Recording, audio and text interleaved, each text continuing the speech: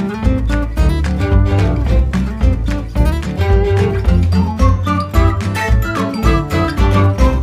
Üdvözöllek a BMW-ben Magyarország első és egyetlen sorozat terápiáján, ahol senkit sem szeretnénk kikúrálni, sokkal inkább tágítani a popkulturális teret, és megismerni olyan dolgokat, amik színesebbé tehetik az életünk. Mert a mai túlzsúfolt ingergazdag környezetben kell egy hely, ahol segítenek elnavigálni a hatalmas kínálatban, és ahol feldolgozhatjuk a héten tapasztaltakat. A főszerepben Tom Cruise. A JNA Network bemutatja a Brand New Voice stúdiójában a Top Gun Maverick című filmet. Felhívjuk kedves hallgatóink figyelmét, hogy a mai adás spoilereket tartalmazhat, így meghallgatását csak azok számára ajánljuk, akik látták az 1986-os Top Gun-t és a 2022-es folytatását, a Top Gun Mavericket. Tarts velem ma is a következő bő egy órában. Popkultúrára fel!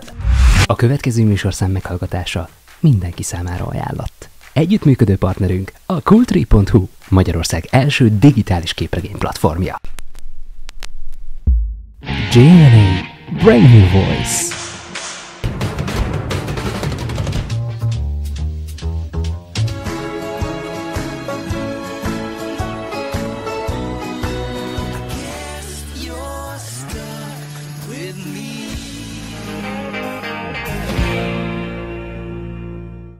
Sziasztok, üdvözlök mindenkit, ez a JNA Brand New Voice Magyarország első és egyetlen sorozat terápiája, ahol senki sem szeretné kikurálni, sokkal inkább rávenni arra, hogy nézzétek meg moziban a Top Gun Maverick című zseniálisan fantörpikus alkotást, mert csak azért is, mert ez egy iszonyatosan jó film, de erről majd egy kicsit később lesz szó, miután Dorka is megérkezett, addig pedig én arra gondoltam, hogy beszélek egy kicsit, vagy mesélek egy kicsit arról, hogy milyen is volt ez az 1986-os Top Gun, ami Dióhéjban egyébként 1986 legsikeresebb filmje volt, olyan nagy sikerű mozikat tudott egyébként megelőzni, csak a top 10-ből említsek meg párat, mint például a Megloktam a Ferrari-val, ami a tizedik helyen végzett a 70 milliós bevételével, szintén egyébként a Paramount Pictures forgalmazásában, vagy a hetedik helyen ott volt a Star Trek negyedik filmje, a, az, azt hiszem ez a Hazaút, címre hallgató 72 milliós alkotás, megint csak a Paramount filmje volt. Úgy tűnik, annak idején a Paramountnak nagyon jó éve volt, és nagyon sok klasszikus filmet dobott ki így a 80, 86-os évben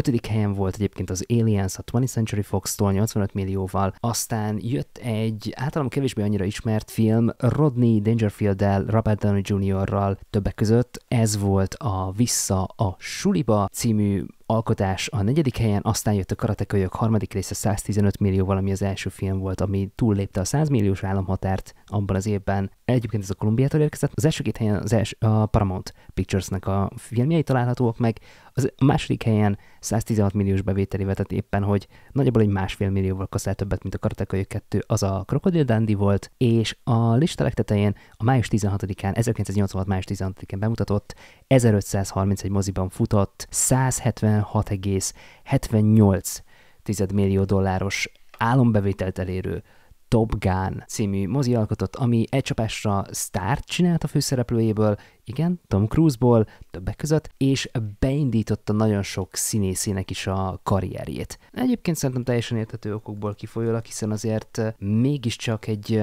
ikonikus alkotásról van szó, amiben egyébként a zene is baromira fontos volt, és ezen kívül egyébként rengeteg olyan tulajdonsággal rendelkezett ez a film, ami egy Jerry Bruckheimer produkció volt, ami hogy legyünk őszinték, szerintem egy abszolút érthető, hogy miért akratott akkora nagy sikereket, hiszen mint Jerry Bruckheimer egyébként nagyon-nagyon szereti azokat a dolgokat, amikor filmjei azok tulajdonképpen úgy vannak bemutatva, hogy, hogy azok tényleg kaszáljanak, és, és egy kicsit, hát ezek, ezek a hazaszeretet volt az, ami szerintem igazából Jerry Bruckheimer produkciót, főleg így 80-as években mindig is sikere tudta vinni, és valahol ezt látjuk a Top Gun is, hiszen, hiszen nagyon sokszor mondjuk, vagy poénkodunk el azzal, hogy a Top Gun az Isten igazából egy ilyen, nem is tudom, milyen toborzó filmnek sem lenne utolsó, ami tökre egyértelmű, mert emlékszem, hogy amikor gyerekként láttam először a Top Gun-t, meg egyébként utána, amikor bármikor belefutottam ebbe a filmbe, amit egyébként nagyon ritkán fordult elő, mert van benne egy olyan brutálisan szomorú dolog, ami miatt én nem nagyon vagyok képes, vagy hajlandó megnézni a, Top Gun-t, mert, mert én nagyon szeretem egyébként ezt a filmet, és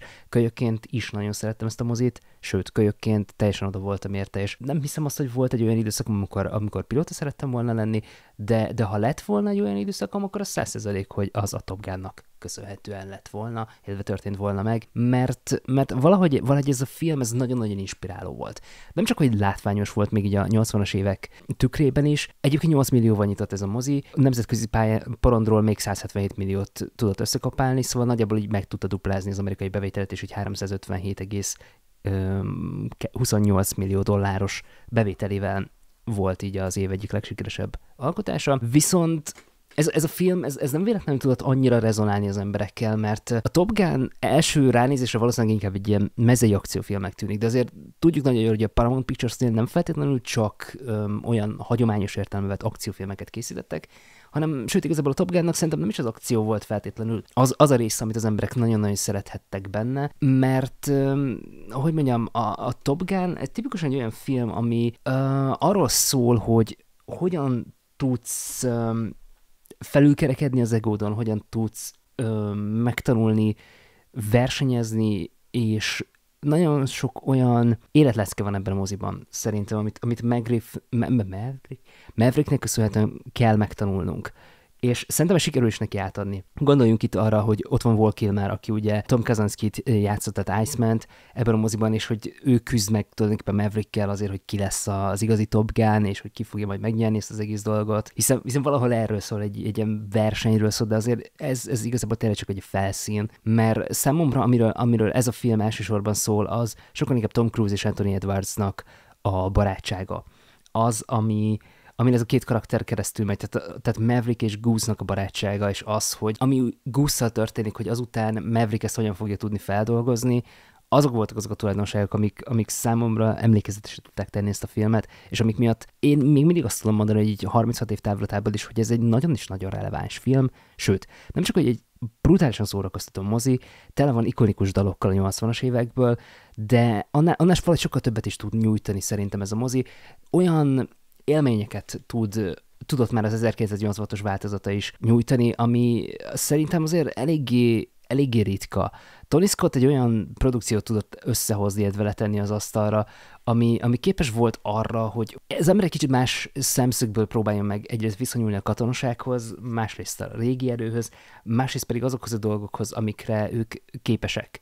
Egyébként nagyon érdekes, hogyha az ember megnézi azt, hogy a Rotten Tomatoes-on például hogyan teljesített ez a film, mert hogyha jól emlékszem, akkor amikor legutoljára megnéztem, akkor a, az eredeti 1986-os film, ami egy ilyen 110 perces, talán, tehát még rövidebb, mint két órás mozi volt, ott, ott csak 55%-ban volt pozitív, míg a közönség részéről 83%-ban volt pozitív, ami a számomra egy ilyen fullosan, teljesen felfoghatatlan dolog, mert ez, ez lényegében azt jelenti, hogy, hogy, hogy ez egy nagyon nem jó film, így a közönség értékítélete szerint, viszont ez, ez egy nagyon érdekes dolog szerintem, mert nem igazán, tehát, tehát hogy mondjam, tehát az első pillanatok kezdve a Top Gun-nak megvan ez a nagyon-nagyon izgalmas stílusa, ami be tud szippantani, be tudja szippantani az embert, és el tudja varázsolni arra, arra az időre, amíg, amíg ez a mozi ez fut, és szerintem valahol ez volt az egyik legfontosabb dolog ebben a, ebben a moziban, amit Tony Scott rendezett, és amit Jimmy Cash írt, illetve Jack Epps Jr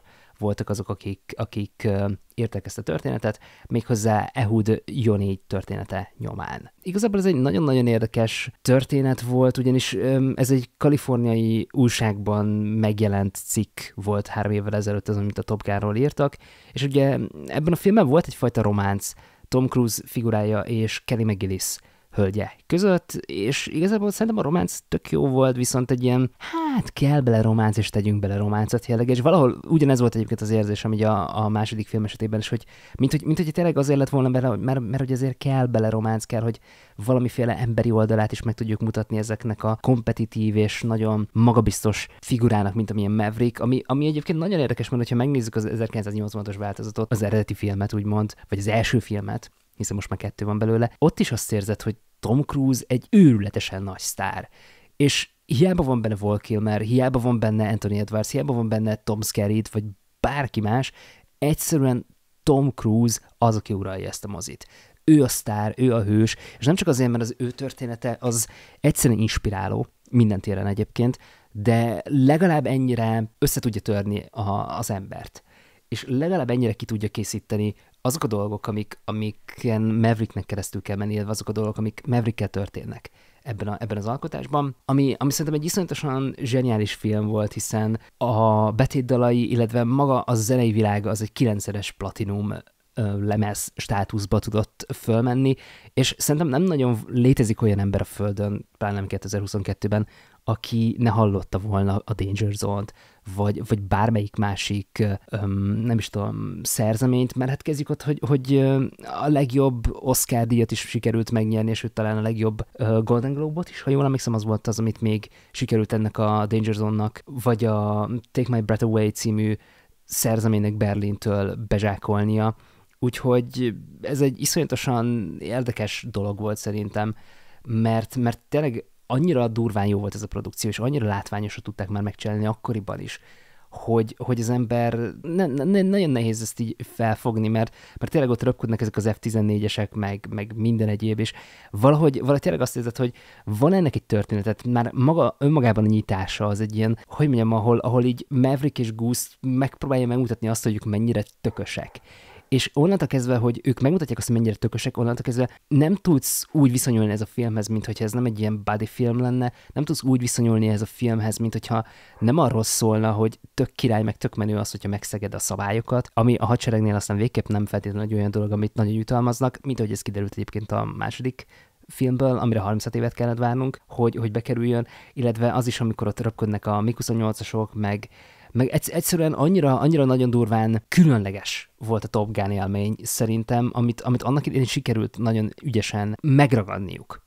És valahol szerintem, vagy számomra mindenféleképpen ez volt az, ami nagyon-nagyon szimpatikus volt ebben, a, ebben az egész történetben. Benne voltak azok a dolgok, amik, amik miatt ez egy ikonikus film volt. Nem csak a zene volt az, ami egyébként nem csak, hogy az atmoszférát tudta végig megteremteni ebben a filmben, de a zene az egy olyan tulajdonsága volt ennek a mozinak, ami, ami százszerzalékig visszavonhatatlanul részévé vált ennek az egésznek, és azáltal, hogy te nézed ezt a filmet, úgy, úgy a zene is belétívódik, és valahogy, valahogy minden egyes dal, ami felcsendül ebben a moziban, tök mindegy, hogy milyen szituációban hangzik el, az úgy, az úgy teljes, teljes egészében így az emberbe bele tud ivódni. Tök mindegy, hogy ez egy olyan szerzemény, mint a Take My Breath Away, vagy például a Playing with the Boys és a Danger Zone, aminek ugye Kenny Loggins volt az előadója, ha jól emlékszem, vagy a Great Balls of Fire, ami szintén egyébként egy zseniális szerzemény, a You Lost That Loving Feeling, című szerzemény a Righteous Brothers-től. Egyszerűen ez a film ténylegesen tele van olyan ikonikus dalokkal, pillanatokkal és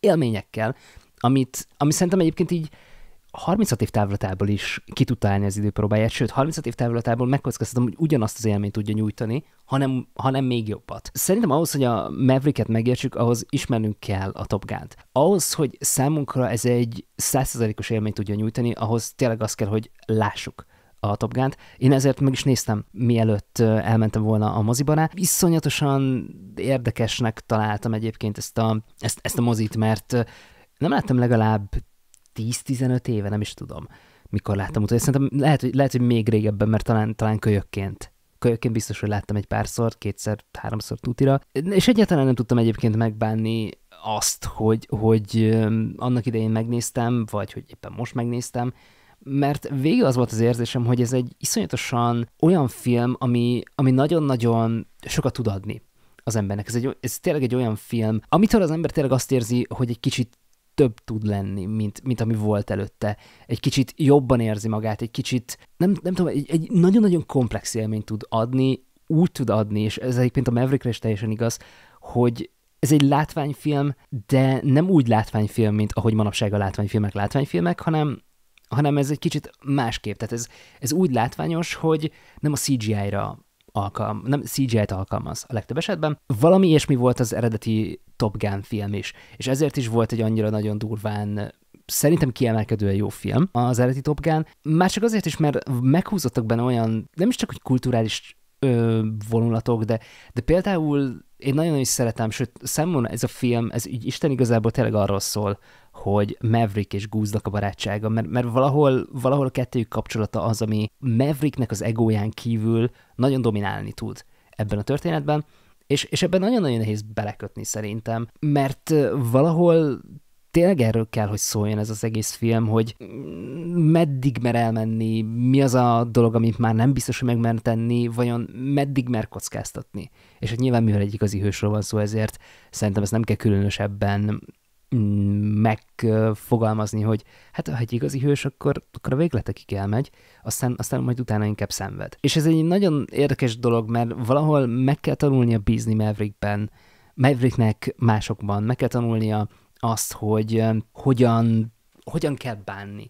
Mert például az egyik nagyon-nagyon izgalmas aspektus volt ennek a filmnek szerintem az, hogy amikor ugye Tom Kaczynski, az az Iceman találkozott Maverickkel, akkor ő, az ő hozzáállását a dolgokhoz azt nagyon egy ilyen, hát nem is tudom mi, az igazából jó szó talán ilyen gyerekes, de mindenféleképpen a veszélyes jelzővel illetném, ami valahol igaz is, hiszen egyáltalán nem feltétlenül biztonságosan röpködött. Nyilván szerintem senkiben, aki valaha látta Top Gun-t, nem merült fel soha az, hogy nem Maverick a világ legjobb pilótája, tök mindegy, hogy mi lesz ennek a versenynek az osztály tagjai között a végeredménye.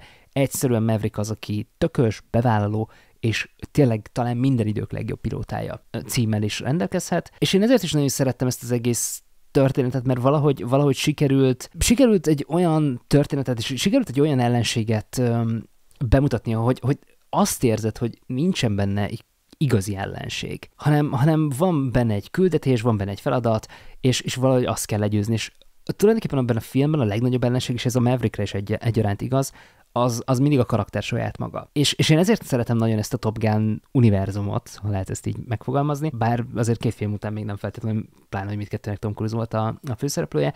Szóval én, én abszolút azt látom, hogy ez egy 15 millióból elkészült film volt annak idején. Még egyszer, 15 millióból készítették el annak idején ezt a mozit. Ahhoz képest azért a Top Gun 350 millió dollárt termelt világviszonylatban, ami szerintem minden csak éppen nem egy elhanyagolható érv amellett, hogy mennyire zseniális is tud lenni az a, az a mozi. És amellett sem feltétlenül szabad egyébként elmennünk, hogy abból a 15 millióból ők, ők nem csak egy nagyon-nagyon látványos filmet tudtak letenni az asztalra, hanem, hanem annál kicsivel, jó, igazából sokkal többet tudtak letenni az asztalra, mert ha belegondolunk, akkor ugye a Maverick a 170 millió dollárból készült, ami hát azért a 15 millió dollárhoz képest még az inflációt is ide számítva azért egy brutálisan nagy különbség szerintem legalábbis azt hiszem. A helyzet az, hogy, hogy az, amit a Maverickben, vagy a Top Gunban elmeséltek, az a, az a történet, az a fajta versengés, az a fajta bizalomról szóló játék, az, hogy le kell győzni saját magadat, az, hogy tulajdonképpen mindenkivel versenyezned kell, de igazából ez nem feltétlenül csak arról szól, hogy le kell győznöd a másikat, hanem arról is szól, sőt, nagyrészt talán inkább arról szól, hogy saját magadat kell legyőznöd, ahhoz, hogy, hogy elérd a céljaid, és ez szerintem, ezek szerintem olyan dolgok, amik a Maverickben talán még jobban ki tudtak csúcsosodni, sőt, még jobban rájuk tudott feküdni. Érdekes volt az eredeti Top Gunban Mavericknek és az Iceman közti kapcsolat is, ha lehet ezt annak nevezni. Érdekesnek tartottam egyébként a románcot az első filmben, mert az, az tényleg olyan volt, hogy nyilván megjelenik a nőci, nyilván tudod, hogy ő lesz az, mint hogy találkoznak a bárban, aztán másnap megjelenik a nőci, hogy hát igazából neki köze van a Top Gun programhoz most már évek óta, és ez meg az. És az ember ott, ott nagyon-nagyon érzi azt, hogy valahogy lehet, hogy a nőci nem kedveli feltétlenül Tom Cruise figuráját, de elkerülhetetlen, ami elkerülhetetlen. Ebből kifolyólag pedig meg is kell, hogy történjen az, ami elkerülhetetlen, hiszen hogyha nem történne meg, akkor nem lenne elkerülhetetlen. De ez elkerülhetetlen, úgyhogy meg kell, hogy történjen, és ennek a körmondatnak az égete világon semmi értelme nem volt azon túl, hogy megtörténik, aminek meg kell történnie. Na, hát valami, valami ilyesmi volt egyébként a románc ebben a történetben. Nem éreztem azt soha rajta, hogy domináns volt, nem is feltétlenül érezted rajta azt, hogy ez egy ilyen szerelmelső látásra dolog, hanem, hanem inkább ez így természetesnek volt véve. Nem tudom, hogy ez a jó szóra egyébként, de mondjuk azt, hogy természetesnek volt véve, abban nem nagyon lehet belekötni. Természetesnek volt véve, és onnantól kezdve, hogy természetesnek volt véve, onnantól kezdve az ember vagy elfogadja, vagy nem fogadja el azt, ami történt, vagy ami láthat, vagy ami történhet ebben az egészben, és onnantól kezdve az embernek tényleg nem nagyon marad más opciója, mint hogy elfogadja azt, hogy hm, ebben a filmben van románc. Ebben a filmben van egy románc, egy nagyon érdekes románc, és ami szerintem nagyon érdekes volt, hogy, hogy ez, ez a románc, ez nem egy ilyen örök életre szóló románc volt, hanem, hanem ez egy, egy ember életének egy bizonyos szakaszát mesélte el, és összepárosított egy olyan másik lényel, akivel, a, akire szüksége volt. És valahol ez az egész románcnak ebben a filmben a szépsége, számomra ezért működik. A Top Gun egy minden ízében kiemelkedő alkotás volt, már egy a 90-es évek, vagy a 80-as években is. Pontosan azért, mert a karakterekkel tudott foglalkozni. Hiába volt egy akciófilm, hiába volt bazilátványos, de valahogy volt ideje, és nagyon jól tudott bánni a karaktereivel. Ahogy már említettem korábban a barátság Maverick és Goose között, illetve Maverick és Iceman közti ellentétek, vagy rivalizálás, ha úgy jobban tetszik, ezek voltak a domináns szeletei ennek az egész Top Gun filmnek, és ezek voltak azok, amik, amik nagyon sok réteget tudtak még hozzátenni a mozihoz, mint hogyha egyébként Mavericknek a rétegei nem lettek volna önmagukban elegek, mert, mert azért egy elég komplex figura, nagyon-nagyon egyszerűnek tűnik, de a helyzet az, hogy, hogy Maverickre minden elmondható, csak éppen az nem, hogy egyszerű. És ez nagyon átjön ezen az egész filmen, nagyon, nagyon átjön a viselkedésen, nagyon átjön az, hogy, hogy ő 20 évesen mennyire vagánynak és elszántnak képzeli magát, aki szeret veszélyesen élni, és még attól sem feltétlenül riad vissza, hogy mások életét kockára tegye. És itt, itt valahol ő szerintem fejlődött nagyon sokat a, az eltelt 36 évben az első film és a második között, mert részben azért, ami, ami itt történt ebben a filmben, abból ő rengeteget tudott, hát nem csak fájdalmat tudott szerezni belőle, de rengeteg tapasztalatra tudott szertenni, és ennek köszönhetően egy kicsit kicsit komplexebbé tudott válni szerintem az egész karaktere. Beszéljünk egy kicsit akkor erről a drámai dologról, mert nekem erről mindig nagyon-nagyon nehezen leesett beszélni, és hogyha már ez egy ilyen sorozatterápia, akkor igazából hol, ha nem itt, beszéljünk ilyen dolgokról. Szóval, ha láttátok az 1986-os filmet, akkor nagyon jól tudjátok, hogy Maverick és Goose, aki a rádiósa, között mennyire szoros a kapcsolat, mennyire jó barátok, és hogy mennyire szeretnek ők együtt repülni, és hogy tulajdonképpen tényleg olyanok, mint a testvérek, nagyon sok szempontból. Viszont történik valami az egyik bevetésük során, amiben, amikor katapultálniuk kell, és történik egy baleset gúzzal, és az a baleset, az onnantól kezdve elég komoly kihatással van Maverick figurájára, hiába mentik föl a bíróságon, hogy, hogy ez nem az ő hibája volt, ez a technológiának volt a hibája, ő egyszerűen nem igazán tudja feldolgozni azt, hogy elvesztette a legjobb barátját. Azt a barátját, akivel néhány jelenetek korábban még a kocsmában énekeltek egy baromra jó szerzeményt. Azt a barátját, aki aki nélkül az életen nem is érne fabatkát sem igazából. A társad vesztette el, hiszen ők mindig együtt repültek, és megbíznak egymásban. És azért egy ilyen kapcsolat az, az arra nagyon sok minden elmutató, csak éppen az nem, hogy könnyű lenne a hasonló, könnyű lenne pótolni. Mert, mert az ilyen kapcsolat, amikor ennyire megbízol valakivel, és ilyen mély szintű dolog alakul ki, az, az nem könnyű pótolni, ez soha nem könnyű pótolni, és valahol nem is nagyon tudja ez a film pótolni, viszont az, hogy hogyan tud tulajdonképpen segíteni neki egy nő abban, hogy talpra álljon, és valahol ugyanezt látjuk a Maverickben is, hogy azok a pillanatok, illetve azok az emberek, akiknek ő a közelében van, azok, azok akik ilyenkor azt mondják neki, hogy figyelj srác, nem adhatod fel. És ez szerintem egy iszonyatosan inspiráló dolog volt ebben, a, ebben az egész Top Gun univerzumban, meg mindenben, ami maverick történik, mert megmutat azt, hogy Maverick mennyire sebezhető. És amikor, emlékszem, amikor kölyökkoromban először láttam ezt az egész szegmest és jelenetet, és iszonyatosan élveztem, mert röpködnek, meg, meg tök jó volt az egész, van benne rivalizálás, meg egy csomó olyan dolog, a barátság, amit, amit imádok, és amit kölyökként imád mindenki, közben baromira látványos és szórakoztató is, egy pillanatig nem érzed azt, hogy egy akciófilmet néznél, ami, ami megint csak egy ilyen mindfucking kategória szerintem, mert a Top Gun-tól igazából egy akciófilmet várna az ember, de, de ez valahogy sokkal több, valahogy sokkal több rétegből tevődik össze, valahogy nem az akción van feltétlenül a hangsúly, hanem, hanem tényleg a karaktereken és a karakter drámán. És azáltal, hogy erre próbált meg fókuszálni, szerintem egy sokkal értelmesebb történetet tudtunk kapni, és egy olyan történet, amit tényleg ki tudja állni az idők próbáját, és 35 év után azt mondjuk rá, hogy igen, ez még mindig egy baromira releváns film, és igen, ennek még mindig rengeteg értelme van, és hogy ez nagyon jól működik. Szóval, amikor kölyöként eljutottam arra pontra, hogy megtörtént ez a baleset, ott, ott emlékszem, hogy talán az első megnézésem során, de lehet, hogy egy kicsit későbbi alkalommal el is bőgtem magam, sőt, most is nagyon, nagyon durván közel kerültem hozzá. Szeretem azokat a filmeket, amikor ilyen érzéseket tud kiváltani az emberből egy-egy tragika, vagy tragédia, vagy, vagy csak bármilyen olyan esemény,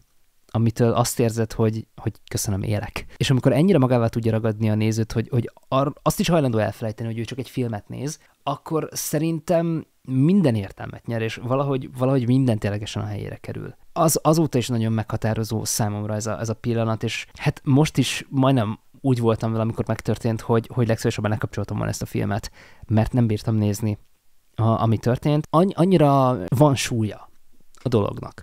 És hiába tudjuk nagyon jól, hogy, hogy ezek a pilóták minden nap az életüket teszik kockára, és bevállalják, tudják az, mivel fognak szembenézni, de mégis bevállalják, hogy lehet, hogy nem fognak hazatérni, miközben mindenki szeretne hazatérni, és mindenkinek ugye ez az elsődleges cél, de van, hogy nem mindenkinek jön ez össze. Ezért érzem én azt nagyon erőteljesen, hogy, hogy volt ennek a filmnek, vagy vannak ennek a filmnek olyan pillanatai, amikor, amikor a nézőben így tudas, tudasulnia kell ennek a dolognak, hogy hm, oké. Okay. És valahol pontosan ez a fajta drámaiság az, ami, ami meghatározó tud lenni ebben a filmben, és pontosan ez az a drámaiság, ami miatt szerintem Top Gun tényleg a top filmek között tudott maradni, és nem véletlenül emlegetjük még évtizedek múltán is, úgy, mint minden idők egyik legjobb alkotása, vagy az egyik legjobb akciófilm.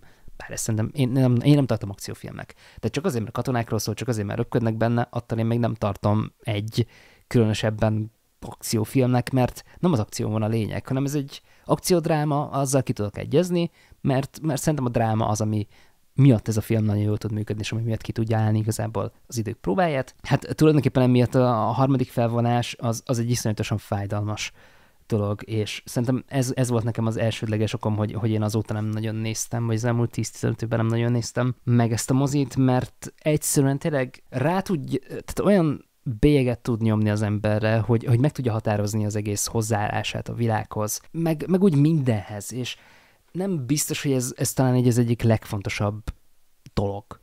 De, de az, hogy egy film ilyen dolgokat ki tud váltani az emberből, szerintem csak azt tudja megmutatni, hogy a 80-as években Hollywoodban még készítettek nagyon-nagyon jó filmeket. A 80-as években még voltak olyan filmek, amik meg tudták érinteni az embert, és nem csak feltétlenül úgy tudták megérinteni, hogy leesik az állam, mert ő meg hal, de látványos, hanem úgy tudták megérinteni, hogy volt történetük. Sőt, tovább megyek. Voltak karaktereik. Sőt, még tovább megyek.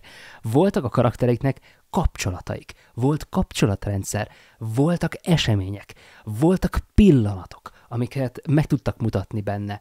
Voltak olyan meghatározó élmények, amik a nézőt érni tudták, meg ami a karakterekkel megtörtént, ami miatt tényleg az volt mindig is a benyomás az embernek, hogy wow, és ez az a dolog, amit én nagyon-nagyon hiányolok a mai filmekből. Ez az, ami szerintem talán a 90-es évek után egy kicsit elkezdett tünedezni, nagyon-nagyon ritkán találkozunk olyan filmmel, aminek egyrészt nem csak, hogy mondani valója van, nem csak, hogy karakter egy erő, elég erőteljes fejlődésen megy keresztül, nem csak, hogy drámai tud lenni ez a mozi, bár én halkan meg, hogy én annyira nem rajongok a drámai filmekért, pontosan azok a traumák miatt, amiket nekem annak idején okoztak. Ezek a bizonyos drámai filmek, és én, én valószínűleg ezért szeretem, vagy ezért állnak hozzám sokkal közelebb a könnyedebb filmek, a komédiák és mi, minden egyéb. Nem csak azért, mert egy kicsit komfortosabbnak érzem bennük magam, hanem, hanem ott tényleg nem, nem az van, hogy szembesülnöd kell egy tragédiával, vagy egy olyan szörnyű eseménnyel, ami mindent meg tud változtatni, vagy meghatározni, és, és iszonyatosan félsz tőle. Sőt, nem, nem is az, hogy félsz tőle, rettegsz tőle. És nem szeretek annyira rettegni, amikor egy filmet nézek, hanem, hanem szeretem azt, amikor ki tud kapcsolni egy film.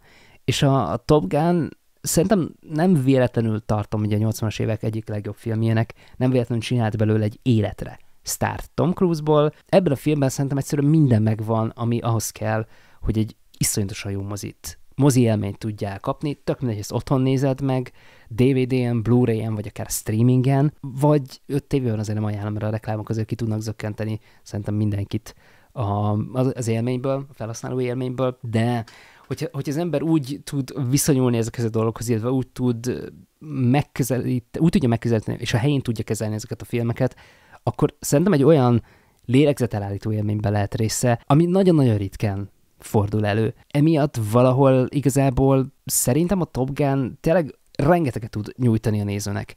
Sokkal, sokkal okosabban, sokkal bölcsebben, sokkal megfontoltabban jössz ki, úgy tanít, hogy nem szájbarág, úgy tanít, hogy közben az érzelmeidre is hatni tud, úgy tanít, hogy megérteti veled a dolgoknak a súlyát. Ez tényleg egy olyan tulajdonság, amiben csak nagyon-nagyon kevés film képes bánni, vagy nagyon kevés film van, ami, ami tudja, hogy hogy kell ezt a dolgot csinálni, és tudja jól kezelni ezeket a dolgokat. És nekem szerintem pont ezért olyan nagy kedvencem ez a, az a Top Gun, még hogyha nem is nézem meg, mit tudom én, tíz évente, csak egyszer, vagy, vagy nem nézem meg minden évben, hanem csak tíz évente egyszer, de, de tényleg, ha, ha az ember elkezdi nézni ezt a filmet, akkor magával ragadja egyrészt a hangulat, magával ragadja a stílus, magával ragadja minden, amit Tony Scott lett itt az asztalra, és, és egy pokolian jó film élményben lesz része, amiben van egy olyan drámai fordulat, ami engem hazavágott teljes mértékben annak idején, és minden mai napig képes arra, hogy hazavágjon, és valahol szerintem pontosan ezekben rejlik egy jó filmnek az ismérve,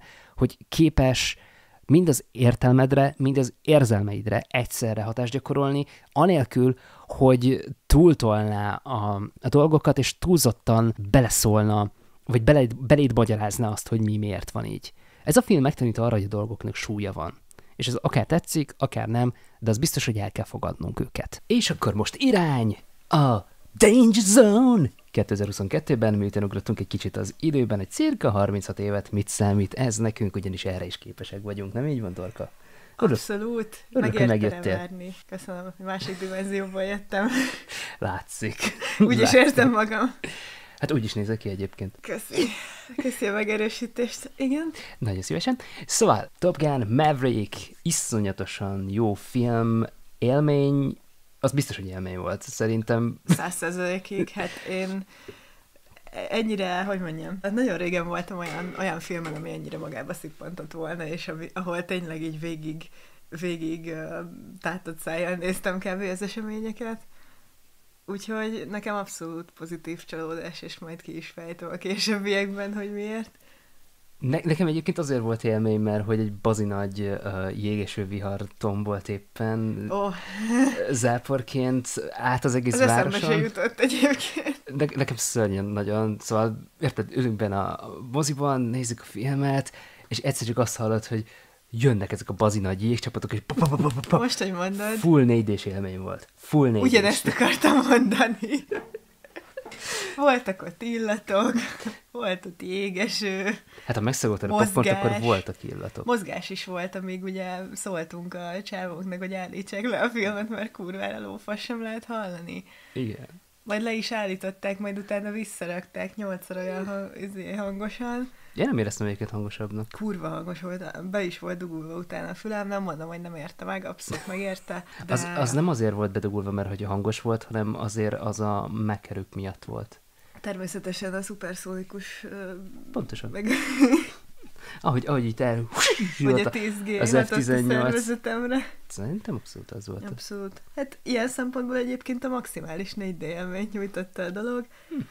Egyébként, egyébként nekem ez annyira bizarr, meg fura dolog, hogy valahányszor elmegyek ebbe a moziba, mindig van valami. Vagy levágják a filmnek a végefő címét, vagy mint a, a Shazamnál ott, ott egyszerre hallod az angol és a magyar hangot. Ez egyébként te hibád, mert a Shazamot moziban nézted meg. És Shazamot minden normális ember moziban nézi meg. A Shazamot normális ember nem nézi meg. És ez egy eszméletlen jó film. Kezdjük ott ez egy pokolja jó családi, szuperhős mozi. Igen, és egyébként... Uh, Ebből is látszik, hogy nem érted, azt sem. Uh, nem is akarom. Uh, visszatérve viszont, viszont erre a masterpiece-re, mert ez nem egy Nem egy De várj, itt, itt, még nem tartunk, hogy beszéljünk erről a filmről, konkrétan még egyelőre a mozi nem a akartam beszélni. Egyébként. Ja, igen, oké. Okay. Csak, egy, csak egy olyan megjegyzés, hogy még annak ellenére, hogy én utálom ezt a mozit, pedig a kedvenc mozim volt régen, még uh-huh. az úgynevezett felújítás előtt, ami uh-huh. csak szerintem körülbelül ed- eddig csak negatív irányba vitte a dolgokat. Üm, mindig tényleg történik, minden egyes alkalommal, amikor elmegyünk, történik valami fasság.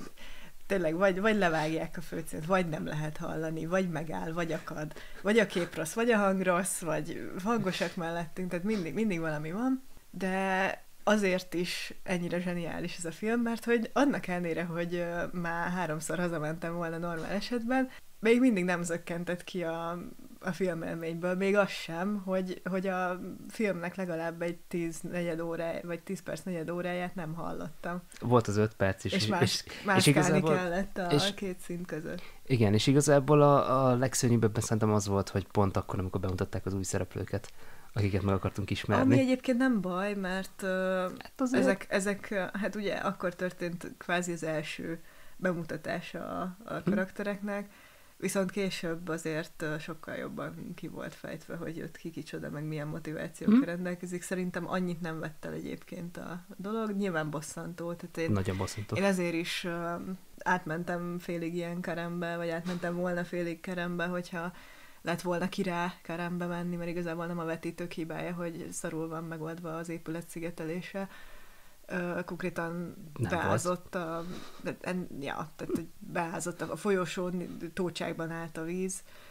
Én, én azt vártam, de egyébként szerintem ez, ez tudatos dolog, mert szerintem a 4D élményre hajtottak. Elképzelhető, hogy egy ilyen furcsa hibrid hibrid közeget akartak kialakítani. A... Hát figyelj, ha az épület jellegéből indulsz ki, akkor azt nem fogják tudni átalakítani igazi négy és Ilyen formában abszolút alkalmas. Tudod, mit kéne itt, itt adni az ilyen szupercella, meg nem tudom, az ilyen katasztrófa filmeket, direkt azokra napokra időzítve, amikor vihart mondanak, interaktív élmény 4D, szuper áron, mindenki menne, mindenki.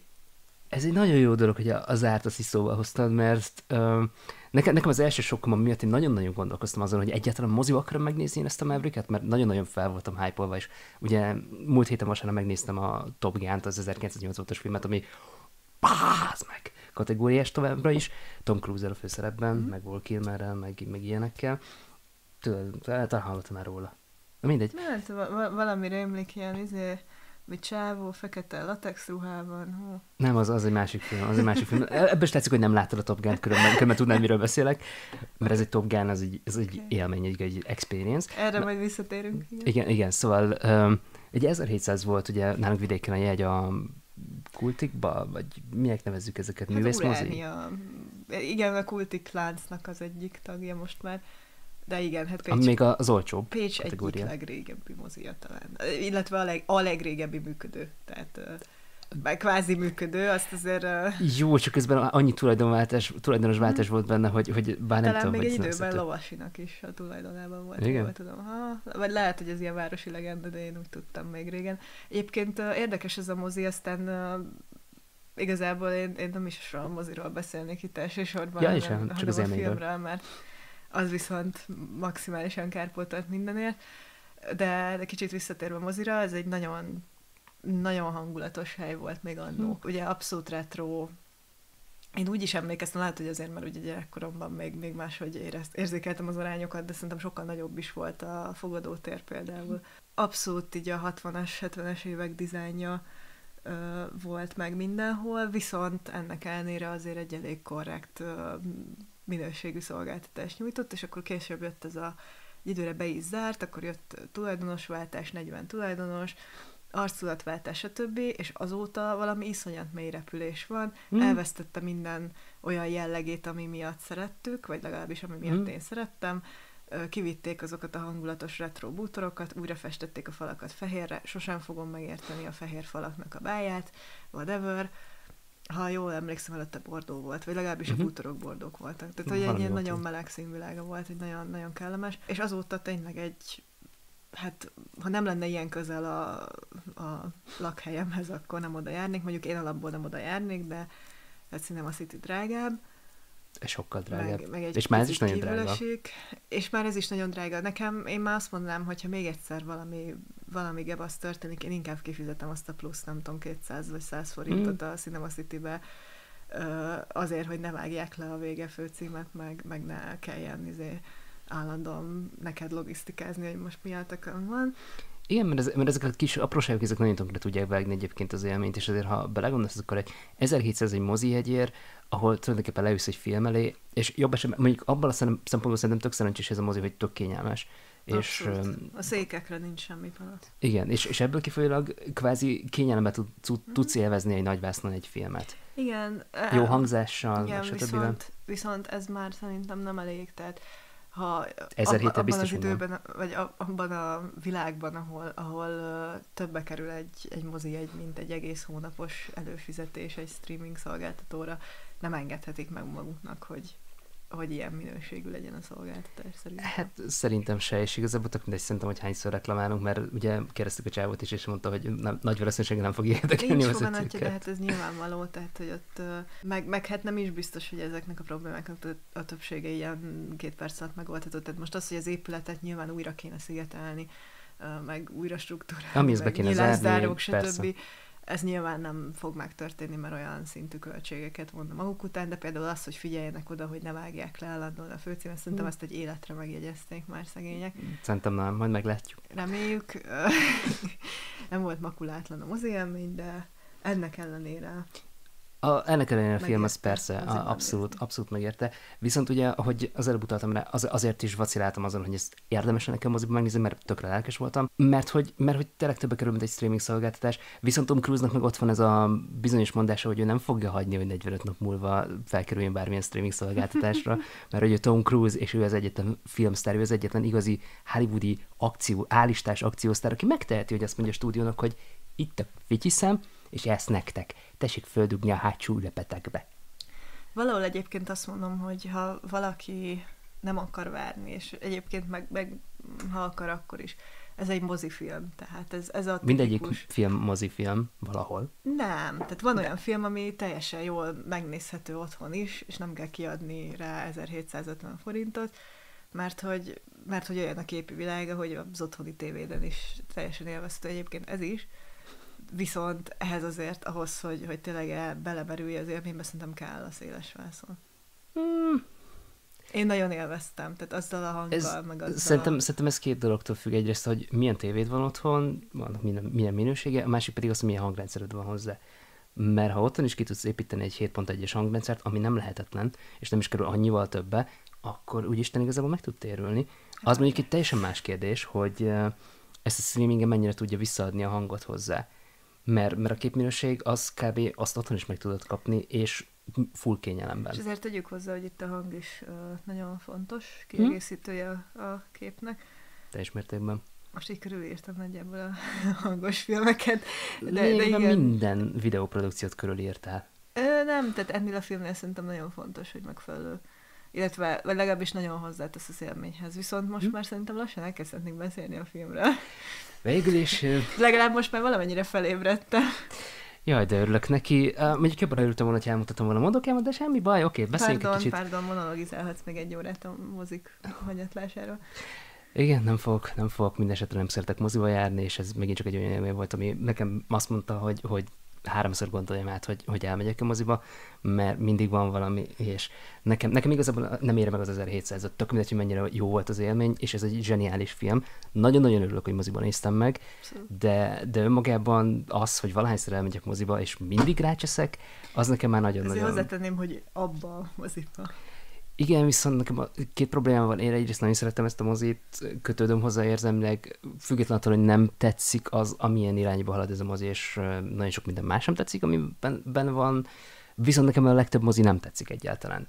Pontosan azért, mert hogy ma már egy mozi nem tudja azt az élményt nyújtani feltétlenül, amit elvárnék tőle. És ebből kifolyólag meg tényleg ott tartunk, hogy inkább előfizetek 1006 ér a Disney Plus-ra is akár, vagy az HBO Max-ra, mert, mert ott meg, érted, a bőség zavarával küzdök, de ha elmegyek egy filmre, és ez többe kerül, az, az már nekem egy kicsit olyan, ne.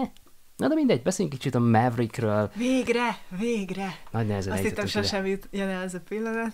Nem fog eljönni ez a pillanat, mert, mert te még pihenj egy kicsit, én addig beszélek a filmről Hé, magáról. hé, én erre várok, amióta megnéztem. Tudom, tudom. Um, Um, szerintem már kiadtam magamból mindent tegnap.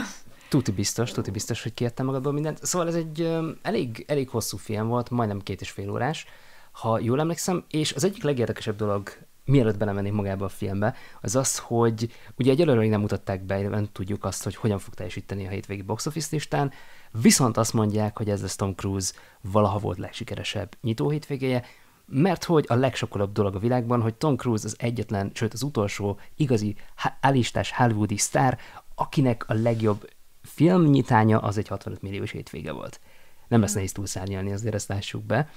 És valószínűleg szerintem még a Top Gun-nak a, e- ennek az eredményét simán túl fogja szárnyalni a következő két Mission Impossible film. Mert hogyha láttad az előzetesét, amit ott megcsinál, és azt ő csinálja, akkor onnantól kezdve tudod, hogy az emberek az biztos, hogy moziba akarják megnézni, és én csak azért az utolsó képen, ami a trailerben benne van, csak azért moziba akarom megnézni. Két dolog, aminek nagyon örülök egyébként. Uh-huh.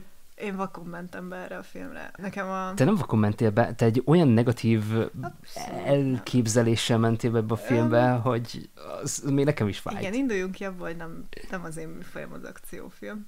hát ez és- igazából nem is volt feltétlenül egy akciófilm. Nem, igen, de majd, hát azért de. Közelebb áll hozzá, mert végülis egy toborzó film volt az eredeti Top Gun, ha azt nézzük, és valahol ez is az, de Hát ez igazából az eredetire való nosztalgia bait. A legjobb értelemben. um, Ez, ez egy nagyon-nagyon érdekes kérdés, és erre mindenféleképpen fogunk beszélni, mert a nosztalgia nagyon-nagyon fontos ebben a filmben, nagyon-nagyon sok visszautalás van. Ismételten, sőt, életemben először volt lehetőségem átélni a nagyvásznon azt, amiért nem szerettem a topkánt. Konkrétan. tehát, tehát azt a jelenetet, ami, ami miatt engem egy életre traumatizált ez a film, amikor kölyökként láttam, meg utána a másik két alkalommal kb. amikor láttam, azt most nagyvásznon is átélhettem, és tök jó volt, de... Katartikus. Igen. Végre elengedhetted nem, nem engedtem el, pont ez az, hogy jobban fájt, mint, mint amikor tévében láttam. Egyébként mindegy, szóval nekem, nekem az ott egy kicsit betett, de a nosztalgia nagyon fontos volt ebben a filmben, és igazából tulajdonképpen ez a film, ez valahol lekopizza az eredeti filmet, de valahogy még mégis el tud vonatkoztatni tőle, önálló tud lenni, és valami egészen új, modern dolgot tud letenni az asztalra, ami egy fantörpikusan jó élmény, és nem csak vizuálisan, hanem a történetében is szerintem. Igen, hát uh, amikor ugye mondtad, hogy te ezt meg szeretnéd nézni, úgy voltam uh-huh. vele, hogy jó, ha ráérek, akkor elmegyek. Milyen kedves, nagy lelkű vagy. De hogy, hogy én sose láttam az eredeti Top Gun filmeket. Egy film. Filmet, Egy. pardon. és hogy nem, nem tudtam, hogy mire kell számítani. Igazából hm. megnéztem a trélert, mondom, basszus, de jó, röpködni fognak két órán keresztül, ilyen Pedig... Red Bull, Red Bull első jelleggel. Igen, ez, ez, ez volt a katasztrófál, és egyébként az összes elvárásod közül, hogy, hogy te valami egy ilyen Red Bull airshow vártál. Egyébként és, meg volt és, a Red és, Bull és, airshow, de... de, de várjál, és te azt is mondtad, hogy jaj, de hát miért néznék két és fél órán keresztül egy Red Bull airshow amikor kimehetek nézni a Red Bull airshow Pontosan ez valahogy így hangzott. Nem mindegy, szóval nem voltak túl magas elvárásaim. Ami, ami számomra felfoghatatlan, mert egyébként mondtam, hogy nézd meg az eredeti filmet. Nem szabad, mert, hogy... igen, nekem, nekem én akkor nézek meg akciófilmeket, amikor uh, rákényszerülök, vagy vagy amikor Háló. valaki nagyon erősen ajánlja. Én próbálkoztam. És mivel annyi megnézendő film van a listámon, amúgy is, így valahogy nem, nem volt ez a prioritások listán. De, de, de azok, a, azok a filmek, um, amik ott vannak a listádon, azok, azok többségi katasztrofális. Abszolút nem. De, de um, A Top Gunhoz képest abszolút katasztrofális. Szerintem minden film katasztrofális, ami, ami indie produkció egyébként. Én nagyon szeretem az indie produkciókat, de, de azért... Tényleg? Igen. Ahhoz képest mindent leszóltál eddig, amit... Mert, mert, mert azok, azok olyanok voltak egyébként, hogy vagy nem nekem szóltak, vagy, vagy egyszerűen tényleg annyira pocsékok voltak. Mindegy, visszatérve a Top Gunhoz, nem ismertem az, illetve tudtam róla létezéséről, meg a főcímdalát ismertem és szeretem. Danger Zone! I- igen, tehát az, az abszolút klasszikus, de hogy így nem, nem nagyon tudtam, hogy miről szól, az se, az se volt meg úgy voltam vele, hogy biztos egy ilyen tipik amerikai katonafilm, jó van, izé, akció van, meg Tom hmm. Cruise, meg jó nők, meg mit tudom ez, ez egy nagyon-nagyon érdekes felvetés egyébként, mert valahol nagyon az, de valahol az, meg nagyon-nagyon az nem viszont, az. Viszont mindent visszaad, ami, egy, a, ami ahhoz kell, hogy tehát én belegondoltam, hogyha én most ott lennék, nem tudom, amerikai kisgyerekként, hogy biztos, hogy nem tudom, kiraknám az ászlót utána az, az ablakba, hát. és jelentkeznék a hadseregbe, mert hogy tényleg annyira visszaadja ezeket a, azt a csapatszellemet, ami, hmm. ami ott van. Kicsit egyébként az a hülye hasonlat lesz, vagy hülye analógia, de hogy a, a kicsit olyan, mint az angyalbőrben volt a magyar, magyar honvédségnek, hogy ott is azért Zseniális. bemutatta azt, hogy hogy működik egy ilyen csapat, mm-hmm. milyen a dinamikája, és most nyilván ez egy tök más jellegű dolog volt, viszont, viszont itt is az, hogy a, a csapat hogyan lesz csapat. És ezek a, a régi ilyen klasszikus, tehát tényleg az ilyen, ilyen régi klasszikus tanulságok, meg, meg elvek, meg értékek, amik, amik a tényleg így a 80-as évek filmjeiben azért eléggé prominensen jelen voltak, az itt abszolút visszaköszön, és annyira hangulatos. Tényleg ez, ez talán legjobb szóra, hogy ez egy nagyon hangulatos film, hogy mhm. amellett, hogy baszott látványos, én attól féltem, amikor ugye beültünk, hogy mondom, ez egy ilyen Michael Bay jellegű dolog lesz, hogy majd ott robbantgatnak, meg Fí, izé, de, de, de, meg de, tudom, de, de ez meg... honnan jön ez a tévképzeted? Mert Michael Bay és Tom Cruise rohadtul nem ugyanaz. Tom, Tudom, Michael, Michael csak... Bay megszerez egy helikoptert egy napra, és azt mondja a stábnak, Ebben is hogy... volt helikopter, robbanó helikopter. De, de várjál, Michael Bay azért szer, megszerez egy helikoptert, és azt mondja, hogy gyerekek, szeretnék ezzel valamit forgatni ma. Mit csináljuk, mit vegyünk fel?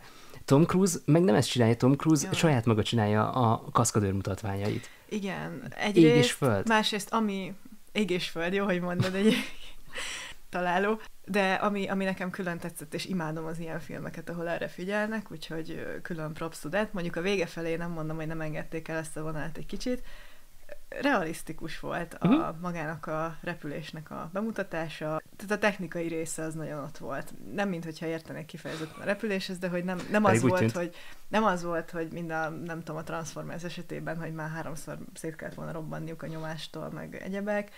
Itt azért pont erre volt kihegyezve. Tehát, hogy látszott, hogy egy rakás olyan emberrel konzultáltak a film készítése közben meg előtt, akik értenek hozzá, és, aki, és ez visszaköszön a filmben. És Tom Cruise abszolút hitelesen adta vissza azt a, azt a figurát, akit, akit hozott. Nagyon, nagyon ott volt ez a film, és így körülbelül az első 5-10 percben, amikor elkezdtük nézni, már az intróval én úgy voltam vele, hogy oké, okay, ez jó lesz. És az az intro, az kb. ugyanaz, e, majdnem egy az egyben, mint ami a 86-os filmben Igen, volt. Igen, és ezért is érzem magam hülyének, hogy ezt eddig még nem néztem meg, pont azért, mert hogy azt gondoltam, hogy valamilyen középszerű akciófilm, mert... Mert ne haragudj, de az a film csinált világsztárt.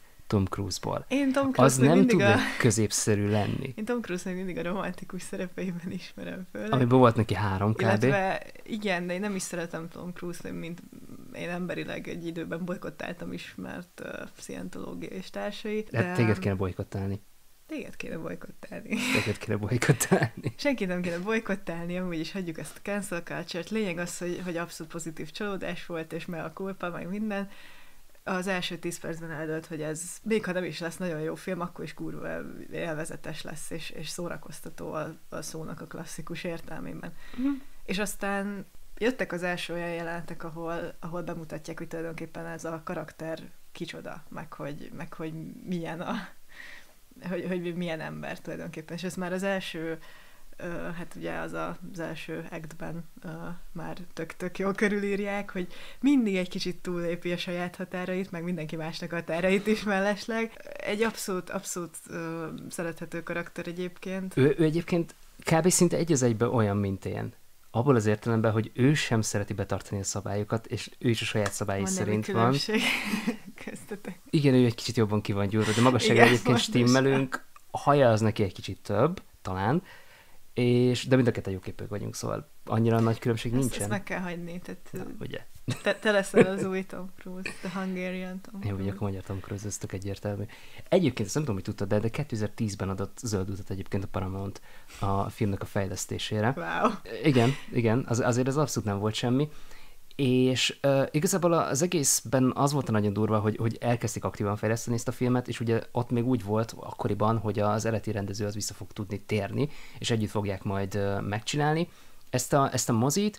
Tony Scott volt ugye a rendező, viszont Tony Scott meg 2012-ben öngyilkos lett, tehát az megint csak visszavetette egy jó pár évre az egész filmnek a történet. Nem véletlenül dedikáltak neki ezt a mozit. Ugye több verziója volt ennek a filmnek, meg nagyon sok fejlesztésen és különböző írókommentát. Mire 2018-ban leforgatták ezt a mozit, és elvéből, ha jól hiszem, 2019-re volt, mint hogyha jól emlékezem, akkor hogy így volt a, a premierje, kitűzve, aztán abból lett 2020 tavasszal, mert hogy nem tudtak minden pótforgatást meg egyebet megcsinálni hozzá, aztán azóta megjött a Covid, és akkor utána még egy párszor eltolták, mire végül 2022-ben elénk kerülhetett ez a film, és hogyha azt nézed, hogy körülbelül 12 éves, 12 évre volt szükség az, hogy ez a film ez elkészülhessen, és hogy ez ennyire zseniális legyen, wow! Még, még egy gondolat egyébként, mielőtt elfelejtem.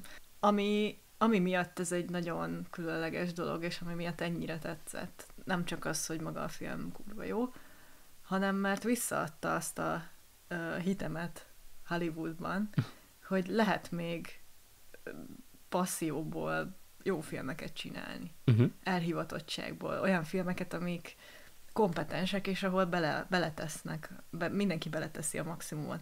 És most olvasom egyébként, hogy, hogy maga a forgatás, az, vagy a forgatás mi előzte meg, hogy ugye Tom Cruise gyakorlatilag berakta az összes, összes színészt egy ilyen kiképző táborba, egy ilyen három hónapos kiképző táborba, és abszolút megértem, mert hogy tényleg annyira hitelesen adják vissza tényleg a, a dolognak a technikai részét. Sőt, még ugye a fülkébe behelyezték a kamerát, és azt is Igen. a színészeknek kellett És használni. abszolút zseniálisan működik. De azt is akartam, vagy ki akarom majd, vagy ki akartam emelni például a kameramunkánál, hogy a, a kokpites, vagy pilotafülke. pilotafülkés, bocsi, Uh, igen, örülök neki, hogy ébren vagyok, sorry.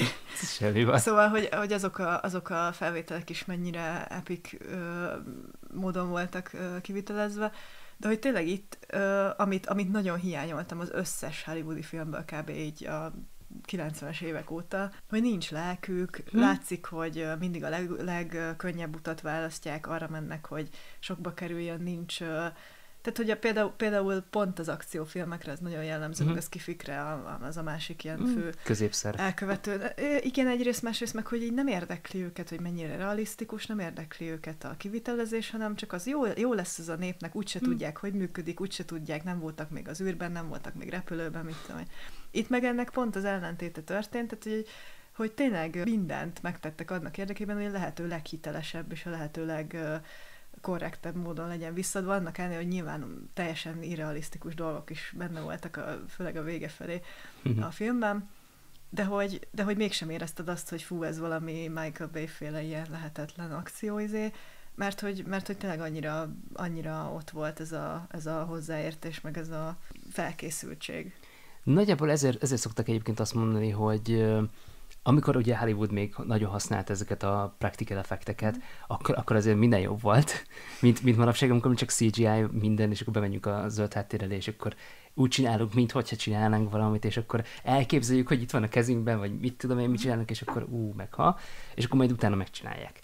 Ehhez, ezzel szemben a Top Gun az minden volt, csak éppen nem ez, a színészek röpködtek, a színészek csináltak mindent, ők, ők voltak az operatőrök is egyben. Ez a kedvenc mondatom a hétre, a színészek röpködtek.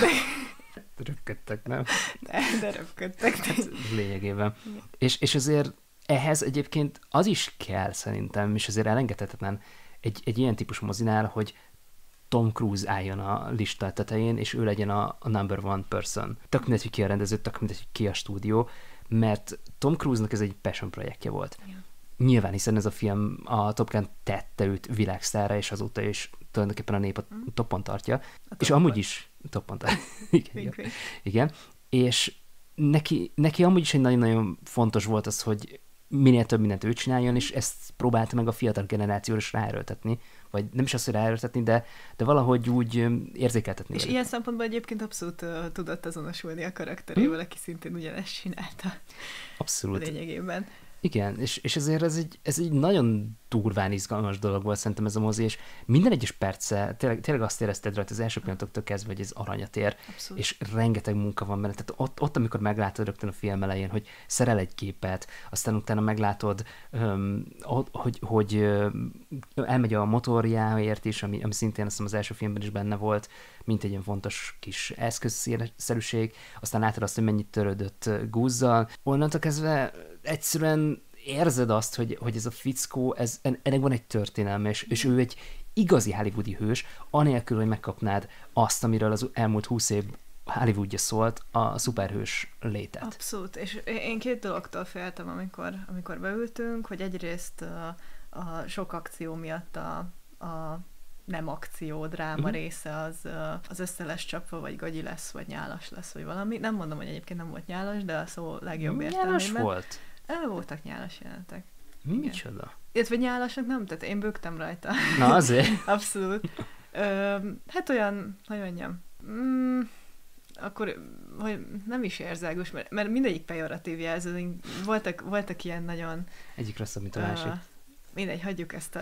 Lényeg az, hogy attól féltem azért, hogy ez nem lesz annyira, vagy nem lesz kifejtve, vagy, vagy itt túl lesz tolva, vagy bármi. Vagy, vagy amikor elkezdett a film, akkor utána meg szerintem azon lehetett félni, hogy vajon mennyire a nosztalgiára fog ráerősíteni. Hát egyrészt az is, bár mondjuk az nekem nem ö, jelentett volna akkor a gondot, mert hogy ugye nem láttam az eredetit. A másik félelmem az pont az volt, hogy Tom Cruise ezt így ö, ki fogja sajátítani, és hogy mm. az mhm. összes többi színész majd nem kap ebben helyet meg szerepet, és abszolút pozitív csalódás volt ez is, hogy tényleg még azok is, akik nem kaptak annyi screen time-ot, még ők is nagyon jól hoz, hozták azokat a karaktereket. Tök jó volt a, például Roosternek a, a, aki, aki őt játszotta a játéka, meg mm. ugye a fizimiskája is abszolút, abszolút hozzáillette ez a szerephez, és az egyik legjobb jelenet szerintem azt leszámítva, hogy az összes jelenet, amiben repülőben ülnek, az a tengerparti csapatépítős jelenet volt. Pont a legfurább jelenet az egész filmnek. Az egy abszolút zseniális jelenet volt, ugye Egyszerre támadnak és védekeznek. Igen, nem is ez a lényeg, hanem egyrészt zseniális volt alatt a zene. Hát az is, a zenét azt maximálisan eltalálták, annak ellenére, hogy nagyon furcsa választások voltak néhány helyen. Uh, igen, Lady, Lady Gaga, Gaga és Hans Zimmer voltak a zenéért felelős. Ez, ez zseniális, tehát én nem, sose gondoltam volna, hogy ezt a két nevet egymás mellett fogom látni valaha. Ilyen kontextusban ebből is látszik, hogy mennyire, mennyire rohadt jó az a film. Egyébként a zene az az első filmnél is nagyon fontos szerepet töltött be. Hát klasszikus 80-as évekbeli zene. És jó is egyébként, én a, a zenéket ismertem egyedül hmm. kb. a Tomkámban. Egyébként ez egy tök érdekes kérdés, de, de hogyha zenéket ismerted, akkor miért nem akartad megnézni soha a Mert úgy voltam vele, hogy ja, hát jó, jó zenék, de attól még, tehát egy zene miatt nem fog. Bár kis kitérő, én a, az első uh, Galaxis őrzőit, azt a soundtrack miatt néztem meg. Já, zárójelbe zárva. Um, megérte az is. Hála, hála azért, nem, nem tudom, miért kell bekeverni egy szuperhős filmet, de oké. Okay. Nem, csak, csak mondom, hogy ez azért fontos ilyen szempontból is. Ezek után biztos megnézem egyébként a Gun. De ja, tehát hogy ettől is féltem, hogy majd Tom Cruise kisajátítja magának ezt az egész filmet. Abszolút nem így történt. A, hm? az úgymond mellékszereplők is kaptak szerepet. Az egyik legszebb jelenet szerintem, amikor Ice hát uh. tulajdonképpen beszélnek, és az is, az is mennyire jól meg volt oldva, hogy ők uh, igazából végig ugye írásban kommunikálnak. Uh-huh. És hogy uh, ennek oka van, de hogy ezt uh-huh. még nem tudod akkor, amikor elindul ez az egész, Igen. és így mi, mi, mindig gondolkodtam rajta, hogy miért, miért állandóan csetelnek, miért nem hívja fel, vagy miért nem megy el. És akkor, amikor kiderül, akkor nyilván értelmet nyer, hogy miért nem hívja fel. Nagyon jól fel volt építve dramaturgiailag szerintem ez, a, ez az egész. Az, az, az a baj, hogy minden, ami nosztalgia volt ebben a filmben, vagy kötődött bármilyen szinten az eredeti filmhez, az... A szomorú. Egyrészt baromira szomorú, másrészt pedig annyira tökéletesen volt megvalósítva, mm-hmm hogy aki ismeri az eredeti filmet, és nagyon bízom benne, hogy mindenki, aki megnézi ezt a filmet, az ismeri az eredeti filmet, az azt nagyon-nagyon mélyen meg fogja érinteni. Aki, aki viszont nem ismeri az eredeti filmet, az meg pontosan, pontosan ezek miatt meg fogja akarni nézni. Egyrészt, másrészt meg azért, tehát azt, azt is nagyon jól megoldották, hogy ne, ne az legyen, hogy csak annak lesz értelmes, akinek mm aki már látta, viszont nem tolták túl a flashbackeket. Nagyon voltak flashbackek egyébként sok, de... Igen, ami engem traumatizált továbbra is. De abszolút uh, itt nagyon jól összeáll, hogy mi a szitu. Nyilván nem is volt túlmagyarázva, mindenkinek leesett nagyjából az elején, hogy mi történt, még annak is, aki nem látta. Ezt is nagyon szépen megoldották, hogy ne csak azoknak legyen élvezhető, akik tudták az előzményeket, hanem mindenkinek. Igen, tehát valahogy sikerült, tehát ez, ez amit nagyon ritkán tudnak megcsinálni. Egyrészt, egyrészt, a, másik, egyrészt a folytatásoknál, másrészt meg bármilyen Hollywoodi filmnél, hogy, hogy valami újat tudjál nyújtani, ami egy önálló alkotás, ezért is és közben visszautaljon a, a Ezért is utálom a szikveleket egyébként, mert hmm. a, a legtöbb, legtöbb filmnél az abszolút ízléstelenül van kivitelezve és csak rosszabb lesz. Itt, itt úgy érzem, én nem láttam az eredetit, biztos az is jó volt, de itt, itt úgy érzem, hogy akár jobb is lehetett, mint az eredeti, mert... Sokan azt mondják egyébként, hogy kicsit jobb is, mint az eredeti. És ez valószínűleg egyébként a technikának is köszönhető, mert azért a, a látvány az, az nagyon-nagyon központi szerepet tölt mm-hmm. be mhm. itt, meg a hangzás. Meg hát nyilván az se elhanyagolható, hogy volt 12 évük rá, vagy kb. a 12 évük, hogy felkészüljenek plusz ez a három hónapos bootcamp egyébként nagyon, nagyon élvezetes lehetett maga a forgatás. Szerintem zseniális lehetett. Érződött rajta. Tehát igazából ez azért egy nagyon-nagyon érdekes film nekem, plusz azért, hogy moziban néztem meg, mert ez, ez nem egy tipikus Hollywoodi franchise. Mm. Ez nem egy szuperhős történet, ez nem, nem az a nagyon nagy, látványos világ mm. megváltós film, mint mondjuk a Jurassic World lesz néhány hét múlva, hanem, hanem ez egy, ez egy relatív, ezekhez képest egy baromira egyszerű, nagyon-nagyon durván szimpla mozi. Igen. Igen, és az ember, tehát hogy a, tényleg az emberi nagyságot emeli ki, és mm. egyébként, amit mondtál, tök jó, tök jó, hogy felhoztad a szuperhősöket, mert amit szintén nagyon hiányolunk szerintem sokan uh-huh. a filmekből, hogy nem kell ahhoz szupermennek lenni, azért Maverick sem egy átlagos ember, Persze. de hogy mégis annyira ki van emelve ez az emberi akaraterő, meg a, az egész, ami, ami miatt az emberiség szerethető. Mm hogy, hogy abszolút nem kell ide szuper képesség, meg szupererő, meg akármi, meg, meg marázslat, mert hogy, mert hogy maga az emberi nagyság az, ami, ami csodálatossá teszi az egészet. És ilyen szempontból tök jó párhuzam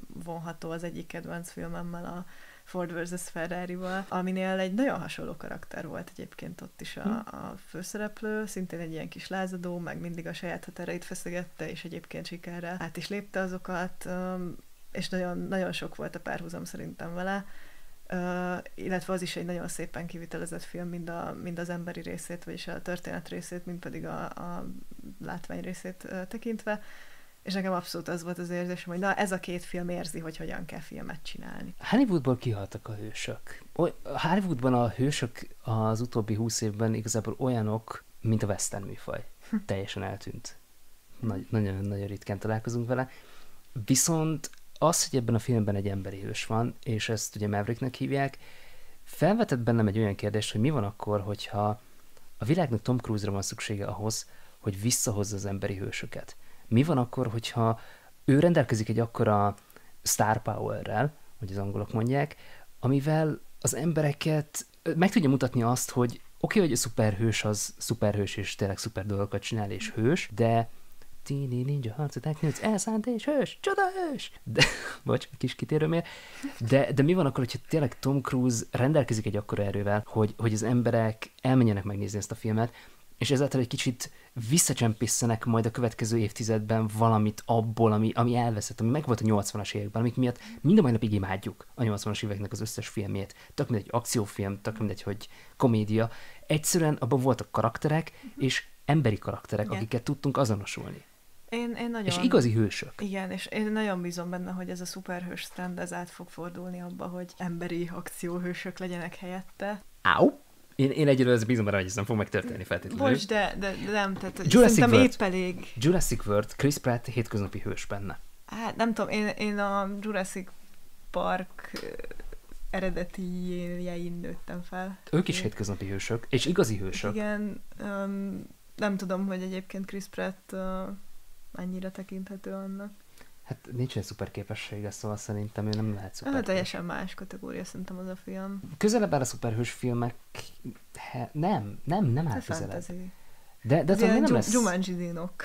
Bocs. Biztos, hogy láttad azokat a filmeket? Nem, egyébként nem láttam. Jó, ez a, a Chris Pratt-es, tehát onnantól kezdve, hogy bejött ez az egész ilyen um, újabb Jurassic World akármi, én azt nem, nem néztem. Én még az eredeti Jeff Goldblumos, mondjuk a többiben is benne van, ha jól tudom, Jeff Goldblum, de ja, tehát még, még ugye az, az eredeti filmeknél ott uh, megrekedtem. Én az eredetit azt láttam érőzenekarral együtt, szóval csak úgy ha Ó, lesz még egy párszor, amikor ezt elmondom. Hát térjünk vissza szerintem a Maverickre, mert azért bőven van még miről beszélni. Én legalábbis órákon Persze. keresztül tudnám. Jó, hát én önmagában ö... órákon keresztül tudnám kifejteni azt, hogy, hogy miért van szükség ilyen hősökre, mint amilyen ő, és hogy miért Tom Cruise lehet az, aki vissza tudja hozni. Meg ilyen filmekre. Meg ilyen filmekre. És ez az, amiért én azt mondom neked, hogy a Mission Impossible filmeket meg kell nézni, mert azok kb. halálpontosan ezek. Tehát amíg a James Bond filmek talán egy fokkal, tehát az is nagyon realisztikus, meg minden, de, de azért Daniel Craig és Tom Cruise között ég és föld a különbség.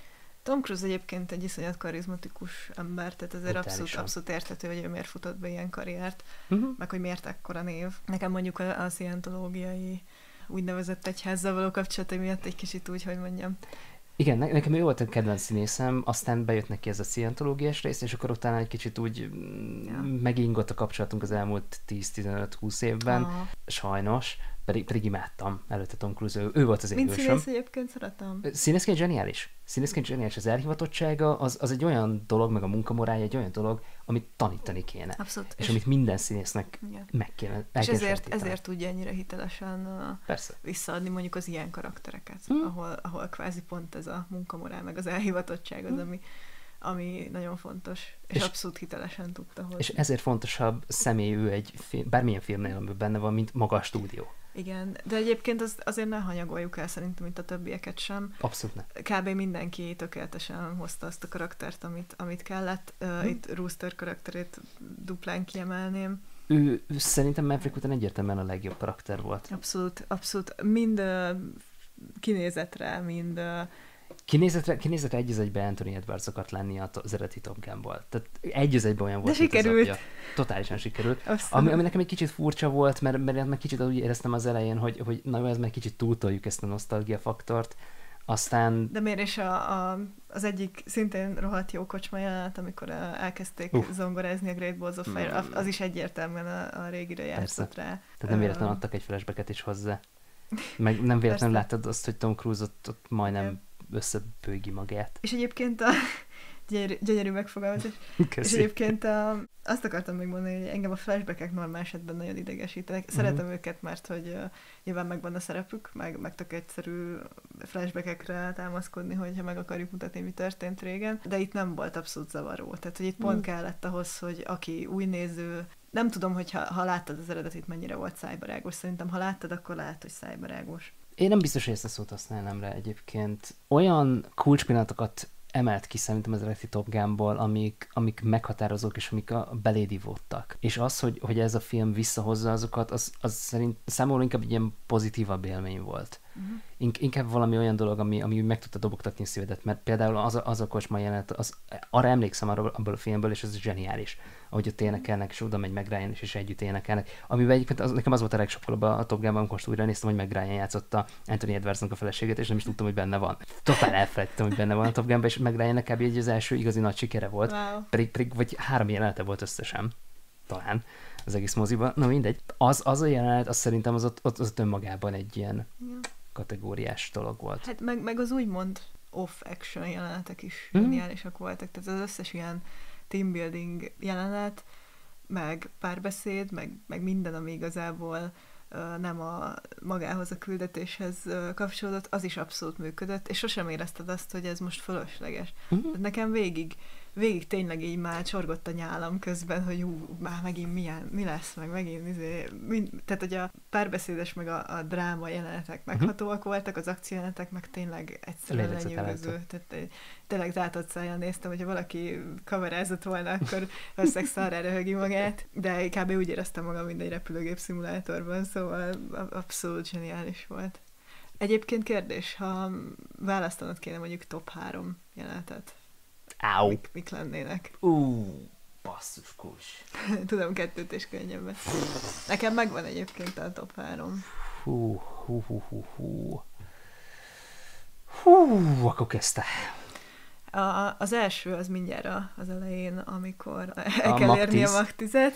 Az, az, az egy tipikusan gyönyörűen tökéletes hős jelenet. Abszolút tehát már ott így, így tehát a szájjal mondom, jó, akkor itt ez valami nagyon jó film lesz. Igen. És ugye az volt az első repülős jelenet. Uh-huh. És az összes többi repülős jelenet abszolút hozta ezt. Tehát az volt mindenképpen így a mood setting, meg a, a tényleg megadta az egésznek a, uh-huh. az elvárásokat, hogy akkor ez ilyen lesz. Abszolút imádtam. És nagyon jó karakter bemutatása volt egyébként a, uh-huh. a, az akciójelenten keresztül, mind, mind Mavericknek, mind pedig nem emlékszem a nevére a társa. Aki... A feketére? Igen, a rádiós? Aha, Arra én sem emlékszem, mi volt Mindegy, neki is egyébként. Igen, igen, igen. Másik nagyon hasonló jelenet, ami meg nekem volt szerintem egy nagy kedvencem, az, az meg nyilván az, miután ugye kirúgják, ő meg hát elköt egy gépet, és megmutatja, hogy igazából meg lehet csinálni. Azt Mi, miután, miután bejön John Hamm, és azt mondja, hogy innentől kezdve a gyerekek, ezt mi nem így fogjuk csinálni, nem két és fél percetek lesz, és nem 30 méter mélyen fogtok röpködni, hanem négy percetek lesz, magasabban fogtok röpködni, bla bla bla bla. Abszolút teljes mértékben kiszámítható volt az a jelenet, viszont. De zseniális amit... volt a megvalósítása, abszolút, és a mondani valója is. A mondani valója már csak azért is, mert hogy ugye alapból ennek az egész, uh, egész küldetésnek kb. az elejétől fogva lehetett érezni, hogy ez egy uh, hát nagyon sok csoda kell ahhoz, hogy itt élve kikerüljenek az emberek. Ráadásul kb. így a, a fizika törvényeivel ellentétes az egész uh-huh. küldetésnek a megvalósítása, és már az, a, az az időintervallum, amit ugye uh, teljesíteniük kell ahhoz, hogy egyáltalán kivitelezhető legyen a dolog, már az nagyon szűkös. És amikor ő ezt demonstrálta, hogy ezt meg lehet csinálni, akkor szándékosan még visszavett 15 másodpercet, és ez annyira itt visszaköszön megint az a Mach 10, ugye, hogy az sem 10 volt, hanem 10 egészet, de hogy, de hogy igen, tehát hogy, hogy abszolút az a, az a karakter, aki, aki mindig egyel tovább megy, és, és mindig saját maga, maga elé megy, mm. hogy, hogy még, még tovább hajtsa magát, meg, a, meg még tovább érted? Me- Maverickben egyébként szerintem pont, pont ez a gyönyörű, és ez megint egy olyan dolog, amiben párhuzamot tudok húzni. Hős igen, igen. De, de, de, pont ez az, ami miatt én párhuzamot tudok húzni vele, megint csak, mert hogy, hogy én is saját magammal versenyzek a mhm. munkában, így Isten igazából, és, és senki mással, ami nagyon fura, de, de itt például szerintem rengeteget hozzátesz és elárul erről a karakterről, hogy, hogy ő tulajdonképpen mennyire elhivatott, uh-huh. és hogy mennyire elszánt, és hogy Isten igazából, hogyha nem tudom, az emberek egy nagyon maroknyi része gondolkodna így, mint ő, sokkal jobb világban élhetnénk akár. Jó, nyilván ő egy, ő egy még mindig egy nagyon idealizált karakter, tehát hogy nagyon kevés ilyen ember van. Vannak. Vannak. Vannak, és most nagyon, nagyon sokféle Nagyon aranyos ez a párhuzamod egyébként. Nagyon De sokféle igaz. terület. Jó, nyilván én nem mentem meg a világot azáltal, hogy helikoptert vezetek meg, repülőgépeket vezetek Helikoptert meg. most sose vezetett. Kivételesen. Szerencsére. De volt benne helikopter, azt nagyon, Volt nagyon bánom. Bár egyébként nagyon, nagyon ijesztő volt az jelenet. Ijesztő volt, de nagyon epik.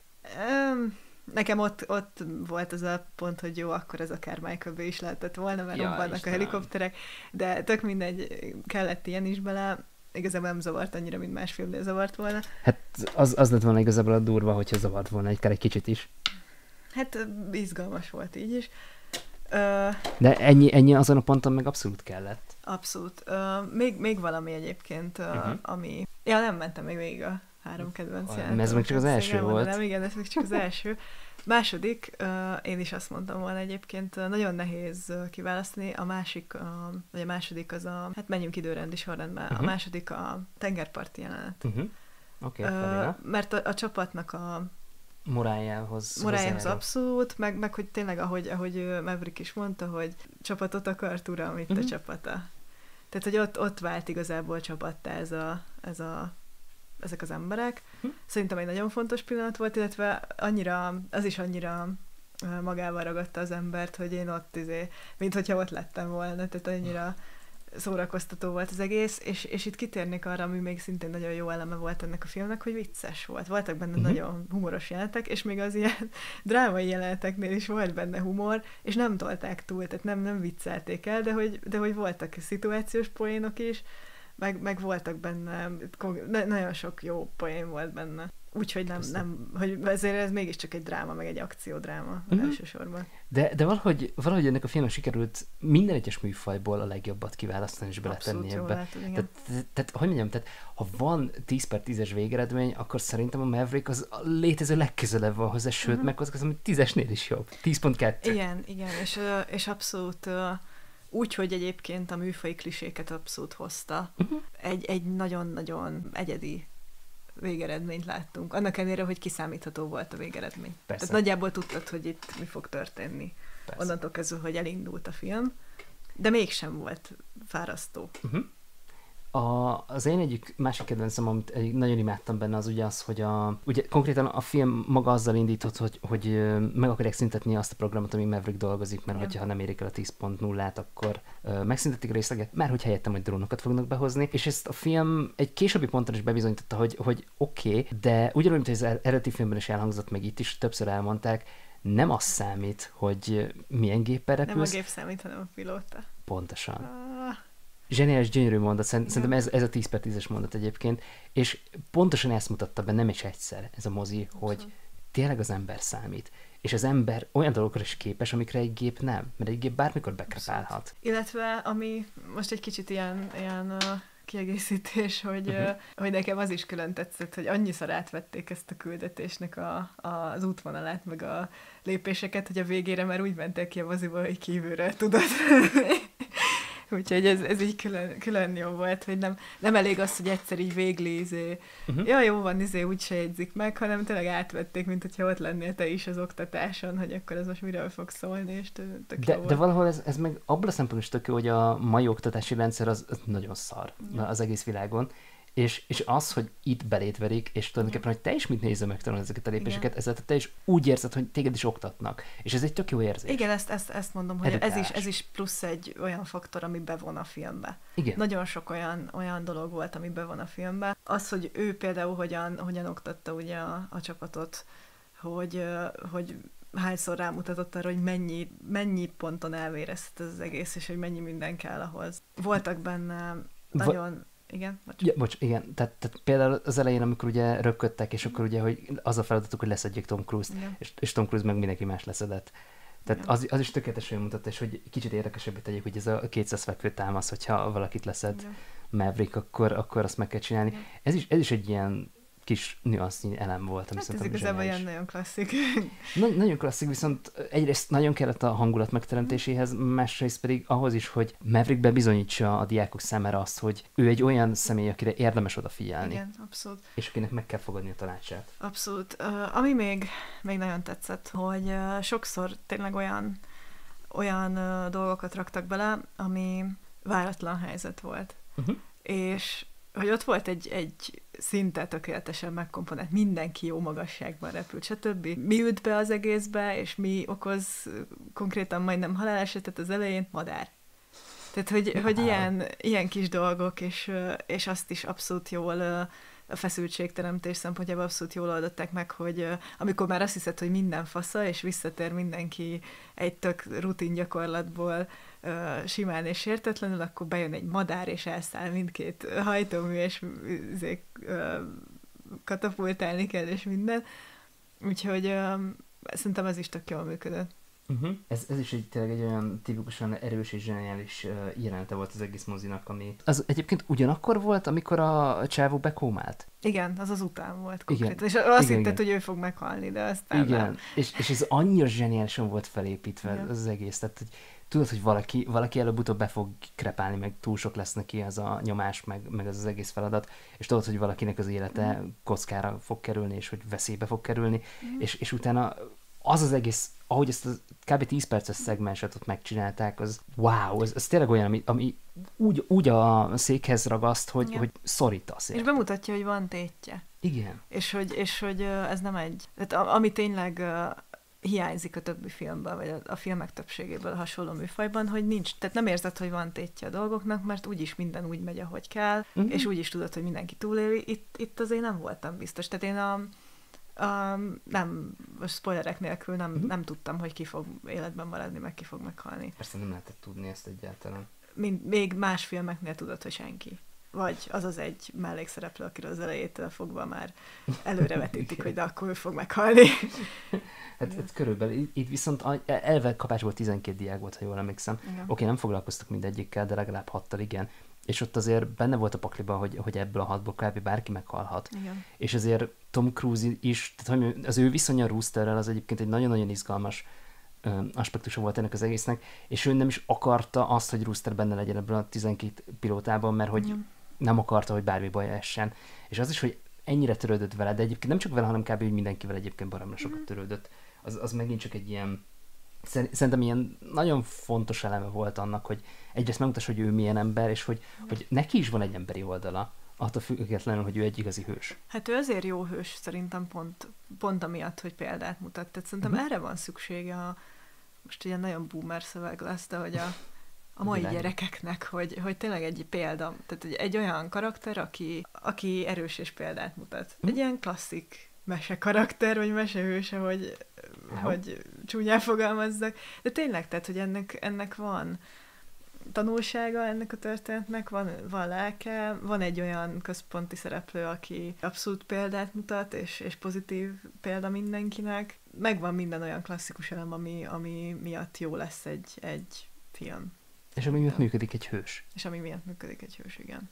Mert, mert azért, hogy mondjam, tehát szeretjük a szuperhősöket, a szuperhősök nagyon jó dolgok. Beszélje magad nevében. Én nagyon Egyébként szeretem őket, és tényleg nagyon jó dolgok. Szuperhőse válogatja. Ja. Egyébként igen de, de amikor látsz egy olyan hős, mint Maverick, akkor, akkor ugye az összes döntést, amit meghoztál életed során, azt, azt megkérdőjelezed. Mert, mert egy szuperhősnél nem, pontosan azért, amit mondtál, hogy ott Isten igazából nincsen tétje Igen. a dolgoknak, mert ott tudod, hogy mi fog történni. És egyébként pont, pont ugye beszéltünk még, hát nagyon sokat beszéltünk arról, hogy miért nem szeretik az emberek Superman, szerintem pont ezért, mert hogy neki aztán végképp nincsen tehát igazából sebezhetetlen kvázi, most nyilván sebezhetetlen, is lehet győzni, de... De, de várjál, tehát, tehát azért szögezzük le, hogy, hogy oké, okay, hogy sebezhetetlen, de egyrészt nem láttál az olman, tehát ez már kapásból egy olyan gyengiség, ami jelen van, másrészt pedig pont... Um, ez aztán hatalmas gyengeség. Ott van a kriptonit is, ami szintén egy hatalmas gyengeség. De, de ezek, ezek csak olyan kis nüansz jellemek, amik azt mutatják meg, hogy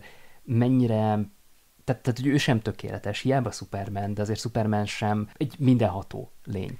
És, és egyébként pont uh, minap vettem fel az egyik uh, uh, ugye felvetted adásomat, és ott például a Smallville-nek a Ryan című epizódjáról beszéltem a második évadban, amin, aminél pont azt mondtam el, hogy tökéletesen megértették Superman, tökéletesen megértették Clark Kentet, mert szembe talál, először, életében először találja magát szemben egy olyan dologgal, ami ellen tehetetlen. És onnantól kezdve megtalált, hogy mi az, ami ellen tehetetlen, onnantól kezdve megértett Superman, és onnantól kezdve nem tudsz rossz történetet elmesélni vele. Nekem egyébként a, a klasszik Superman film talán uh-huh. az, az az első volt a uh-huh. Christopher Reeves-es Igen. filmről van szó, ott, ott talán ami miatt nagyon bosszantott az a film egyébként élvezhető volt, egy abszolút Christopher Reeves tényleg Superman, meg minden. Áó.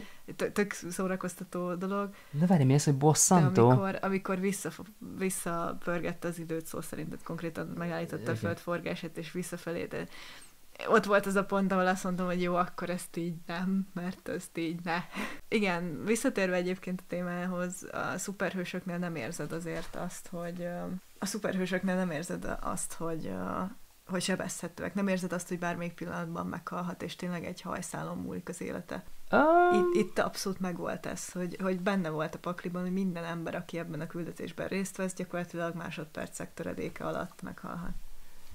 Hát igen. Pont, pont ez volt ennek az egész filmnek szerintem a, a legjobb része, hogy érezted, hogy van tétje Uh-huh. mindennek, ami történik, és, és ezért ez egy ilyen nagyon brutális Igen. dolog, mert, mert ez, ez megint csak egy olyan dolog, ami hozzájárul az élményhez. Mert nagyon ritkán találkozunk olyan lehetőségekkel, amikor, amikor tényleg azt érzed, hogy tétje van a dolgoknak, és hogy és a legtöbb filmben nem érzed azt. Hiába van tétje, minden filmnek van tétje, kell, hogy legyen tétje, különben nincs film, nincs történeted. Mm, Most nem arról beszélek, hogy nincs cselekmény, csak hogy nincs tétje a cselekménynek. Tehát uh, Igen, de, de pont ez az, hogy ahhoz, hogy a cselekmény működjön és jó legyen, ahhoz egyrészt kell egy gonosz, vagy ha nincsen egy jó gonoszod, akkor, mint ahogy ebben a filmben sem volt igazából gonosz, egy tök általánosított egyébként milyen volt. elegánsan megoldották egy szakadár államnak a az arc nélküli katonái, akit az- nem is hallottunk beszélni, tehát hogy véletlenül se, véletlenül se asszociálna senki az oroszokra, vagy bárkire, 2018-ban Nyilván az az oroszok még nem voltak sehol. De nyilván minden amerikai filmben az, a, Jó, az oroszok az ellenség. Itt, itt ezt nagyon elegánsan megoldották a szakadár állammal, meg hogy nem mutattak arcokat sem. Egyébként ez is tök érdekes volt, hogy ugye ott a annyira nem volt érdekes, mert hogy nyilván ilyen volt a felszerelés egy ilyen ö, géphez, de hogy ö, nem nagyon mutatták az ellenségnek az arcát, uh-huh. és ez szerintem részben azért is volt, hogy nem, ö, nem akarták őket feltétlenül humanizálni, hogy ne érezzük szarul magunkat, hogyha kilövik őket. Viszont Jó. volt benne egy tök vi- érdekes, ez most megint csak ilyen személyes kitérő, hogy én végig azon drukkoltam, hogy a, ha kilövik az ellenséget, akkor legalább tudjon ö, katapultálni. És tudott, és még pont mutatták, még belelógott a frame-be, hogy pont még izé kilövi magát, és nyílik az ejtőernyő, mondom, jó király. Akkor a body count az, az kevesebb, mint gondoltam. De ja, tehát nagyon-nagyon jól. És pont azért, mert hogy volt, volt tétje, pont azért ö, érezted azt, hogy minden egyes másodpercben én, én ott oda voltam feszülve a székbe, hogy Igen. úristen, mi lesz. És ez adja az igazi izgalmat egy ilyen filmhez. Nem csak egy ilyen filmhez, szerintem minden filmhez ez adja az izgalmat. Hát igen, most nyilván ebben a műfajban Mm, de azért- nyilván erről beszélünk igen. Igen. elsősorban, mert, de igazából minden filmben van valami, aminek a székhez kell szögezni, viszont ez egy, ez egy olyan érzés, és szerintem ezért nagyon különleges a Maverick, hogy nagyon-nagyon régen nem éreztük már ezt az érzést. abszolút, abszolút. Abszolút nem. Tehát azért egészen más, mint amikor Thanosnak csettinteni kell egyet, és kihal az univerzum, meg Hát tököm erről tudja. beszélek. Az, az egy teljesen más dolog, mint, mint, mint az, amit a Maverick nyújt. És az a Maverick, ez, hogy mondjam, ez egy olyan film, ami a 80-as évek legjobbjait áthézi 2022-be, és modern tud maradni végig. Abszolút. És olyan értékeket tud megteremteni, amiket 36 éve nem láttunk lényegében. Tehát nem véletlenül a Top Gun És- ki 1986 legsikeresebb filmje. És a lehető legjobban használja a technológiát, anélkül, hogy visszaélne vele. Igen. Abszolút tökéletes. Tehát, hogy így kell csinálni. Most nyilván nem mindenkinek van, van erre meg a büdzsé, meg a resources, meg a Tom Cruise, de, de azt mondom, hogy ha, ha Hollywood vissza akarja szerezni a Hollywoodságát. a Hollywoodságát, igen egyébként, akkor, akkor így kell hozzáállni, ezzel az alázattal, meg ezzel a szakértelemmel, meg ezzel a lélekkel, mert uh-huh. ennek a filmnek van lelke. Abszolút. És ez Abszolút. annyira jó, hogy végre van egy film, aminek van lelke. Ráadásul egy ilyen film. Hm? Abszolút nagyon-nagyon régóta nem láttunk ilyet szerintem, és ez valami tényleg valami nagyon különleges. Tulajdonképpen, tulajdonképpen nekem a, a szuperhős filmeknél is valahol, valahol ez volt így a legnagyobb problémám vele, hogy nagyon ritkán érzed azt, hogy van lelke, viszont ha visszaemlékszel Richard Donnernek és Christopher Reeve-nek az első Superman filmjére, akkor az azért volt annyira különleges és zseniális, mert volt lelke. És mm. tulajdonképpen nekem azt az érzést, vagy ahhoz az érzéshez a legközelebb talán a 2017-es Wonder Woman volt. Szerintem egyébként... Az zseniális film volt, utána meg a Shazam. Mm. Mindkét filmnek volt lelke. Szerintem egyébként a, a galaxis őrzőinek is volt, bár kicsit más, hogy az, az nyilván egy lájtosabb uh, dolog volt. Az, az egy tipik Marvel film. Én, én azt azért nem tudom eldönteni, hogy annak volt, volt lelke egyébként. Szerintem volt. Tehát James, James Gunn nem tud Igen. lélek nélküli filmet csinálni, hála az égnek. De, de, de azért az, az még mindig más. Kitérő, The Suicide Squad szintén, uh-huh. szintén volt lelke. Még mind, azóta liba bőr, uh, amikor visszagondolok, amit a Mhm. patkányfogó mondott a, a végén, Mm. zárójelenetben. Konkrétan bőg nem kell rajta, abszolút Mhm. zseniális, annak is volt lelke, de teljesen más. Tehát ott, Abszolút. ott is azért tudtad, hogy uh, azt nem tudtad, hogy uh, ott, ott nem volt mindenki sértetetlen, Uh-huh. és volt is benne olyan sokkoló Mhm. haláleset. Meg volt is tétje. És volt is tétje, de nyilván ott, ott már olyan uh, fizikával szembe menő dolgok történtek, például ott a torony, Uh-huh. toronyomlásnál és egyebek, amit már így érezted, hogy jó, akkor ez egy szuperhős film, meg ez, Igen. egy, ez egy Marvel látványfilm, stb. DC látványfilm. DC, bocsánat. Jó van, most, a, most a James Gunn meg a Galaxis őrzői miatt Á, ó. be a kulpa tényleg. Don't cancel me. You cancelled, bocs. Jó, igen, egy DC látvány, tehát hogy egy, egy szuperhős látványfilm, de, de nem, úristen, most mindenki utál. Csak én. Meg a többi hallgató. Igen. Az a másik tíz. Igen. Szóval mind a tíz, aki eljutott ideig, szerintem túlbecsülöd a számokat, mindegy. Áú, Legalább nem égek annyira. Mm. Ki tudja. elszólás volt, mindegy. Lényeg az, hogy, hogy ott, ott azért más volt, mint, mint itt húsvér emberekkel, akik, akik Persze. tényleg az életüket kockáztatják, és, és tényleg A hazáért. bármelyik pillanatban meghalhatnak. Én egyébként annyira szeretem, vagy szerettem ezt, de egyébként az eredeti film is ugyanilyen, Mhm. Hogy, hogy ott sincsen egy igazi ellenség. Mhm. Míg hogyha belegondolsz, a legtöbb szuperhős filmnek azt szokták mondani a legnagyobb hibájának, hogy nincs benne ellenség, vagy az ellenség nem elég jó, vagy nem elég hiteles, vagy ilyesmit. Hát itt is És- van ellenség, csak nincs De- kifejtve. De pont ez a lényeg, hogy, hogy oké, hogy van egy ellenség, de nincs, Mhm. mivel nincs kifejtve, ezért úgy érzed, mintha nem lenne benne. Igen. Hanem van egy küldetés, és ezt a küldetést kell teljesíteni. Hát itt igazából, am- amit mondasz is, és, és tök jól előjön, hogy magukat kell legyőzni. Meg a Igen. saját korlátaikat kell legyőzni. És az ellenség Igen. az ehhez csak egy, egy díszletet biztosít Mhm. igazából, meg egy, egy ö, alkalmat, hogy Mhm. uh itt igazából az egész film arról szól, hogy hogyan lép túl a saját határaidat, és hogyan, ö, hogyan kovácsolódj csapattá ezáltal, vagy Mhm. uh emellett. És, És, és hogyan vágy többé is, mint ember. Igen, igen. És, egyébként. és, és abszolút az, az meg mellékes volt, hogy ezt mellesleg ott egy, ellen, ott egy ellenség, és ke- teljesíteni kell ezt a küldetést. Erről, erről eszembe egyébként, hogy nekem talán még így a harmadik kedvenc jelenetem az, az volt, amikor elkötötték azt a nagyon-nagyon régi gépet az Hát, ellenség területéről. Azt is akartam mondani, az egyik leg, legviccesebb jelenet például az volt, amikor, Áú. ami egyébként nagyon ijesztő is volt egyben, amikor megjelent mellettük a két ellenséges gép. Hú. Ők ugye papíron az ellenség gépével Igen. repültek, tehát hogy mármint, hogy azzal repültek, és hogy papíron oda tartoztak, de nyilván nem. És hát ott elkezdtek ott nekik integetni, megmutogatni. Tudod, mit mond? Fogalmam sincs. Tehát amikor ott vagy ebben a helyzetben, és egyébként rohadt vicces, de mellett, mellette már részben azért röhögsz, mert annyira feszült az egész helyzet, meg Igen. abszurd. Zseniális volt. Az a, azok a légi csata jelenetek. Mm. Libabőr. Mm. Fú, abszolút. Olyan, olyan jelenetek voltak benne, és mondtad, hogy ez egyik egyébként az eredetiben is benne volt. Mhm. Um, tudod, melyikre gondolok? Aha. A feje lefelé, amikor igen, megjelenik igen. hirtelen felettük feje Igen, lefelé. igen, igen. Zseniális. Tehát az, az abszolút Az, az, az. Mavericknek egyébként az ilyen védjegyek kvázi. Igen.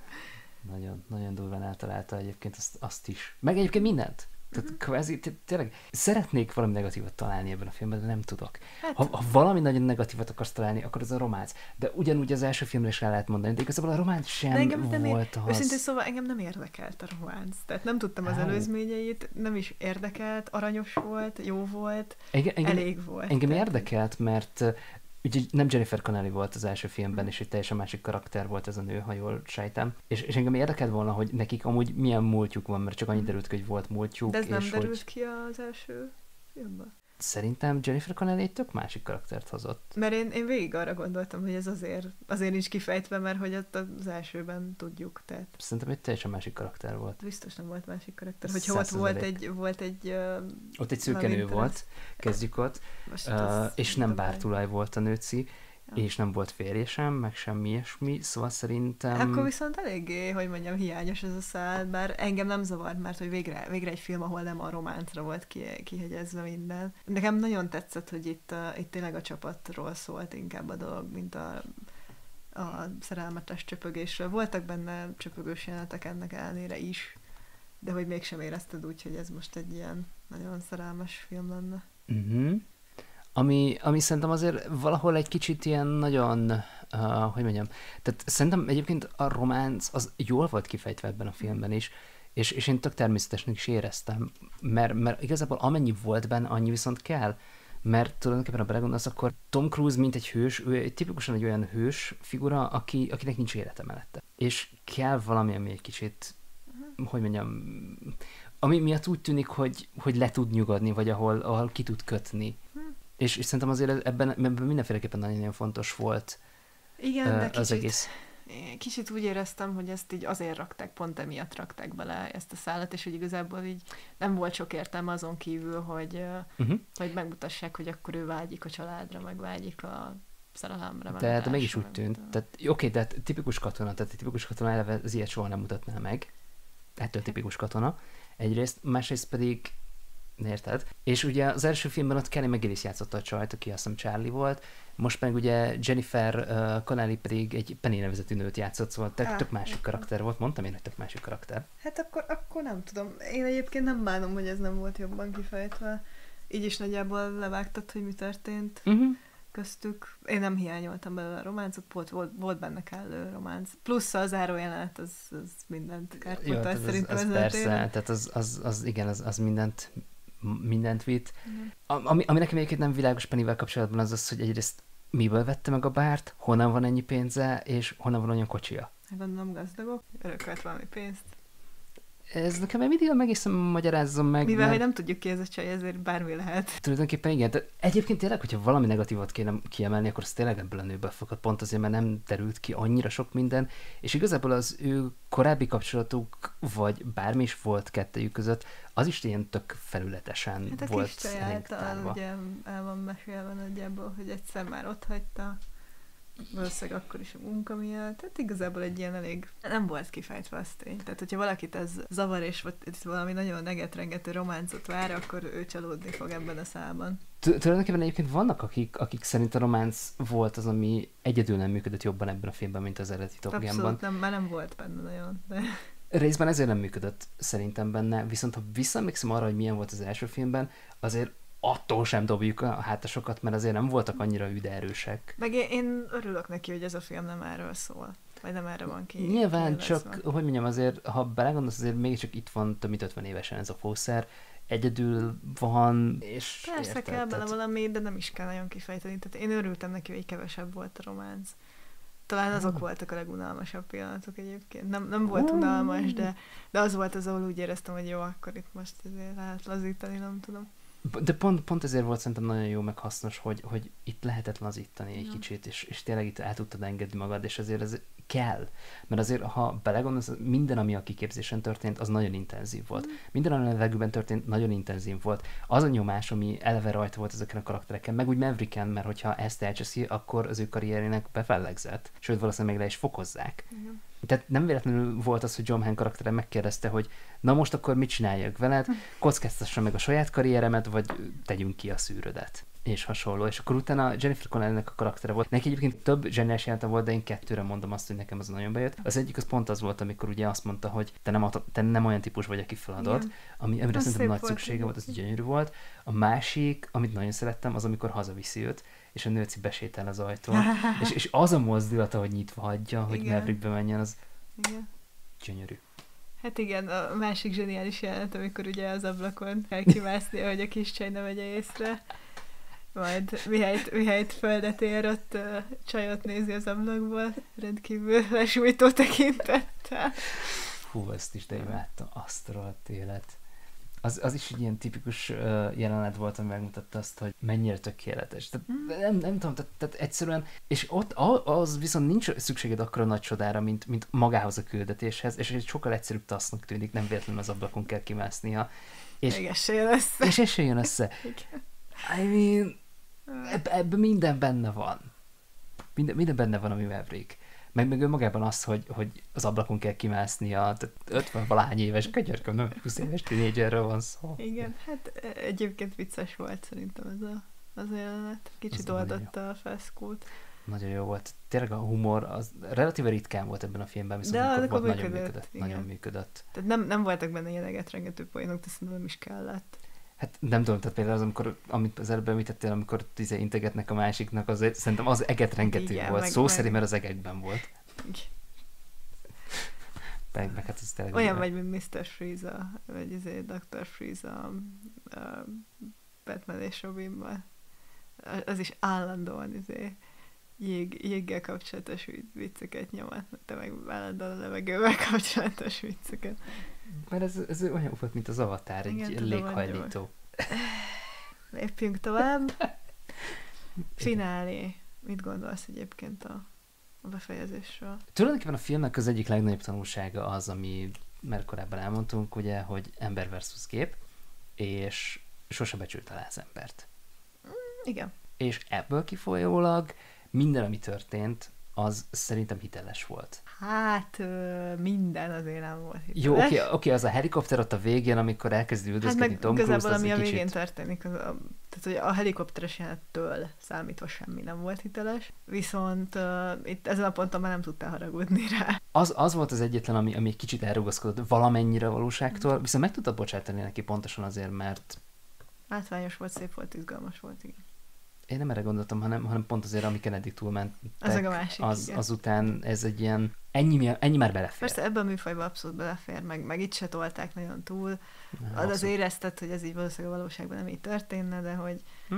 Nem, nem volt az az érzésed, hogy jó, akkor ez semmilyen körülmények között nem történhetett meg. De, de hogy mondjam, az, az ilyen az annyira tipikus, mert ha belegondolsz, akkor körülbelül, mint a, mint a Star Wars-ban vannak azok a klónok, és lövöldöznek, és soha nem találnak ezt semmit. Kb. kb. ugyanez volt. Igen, meg hát azért láttunk a történelem során is uh, hasonló helyzeteket. Most nem azt mondom, hogy, uh, hogy ez az átlag, de nyilván ez pont, hogy arról szól, hogy nem átlagos emberek Hm. ülnek a gépben.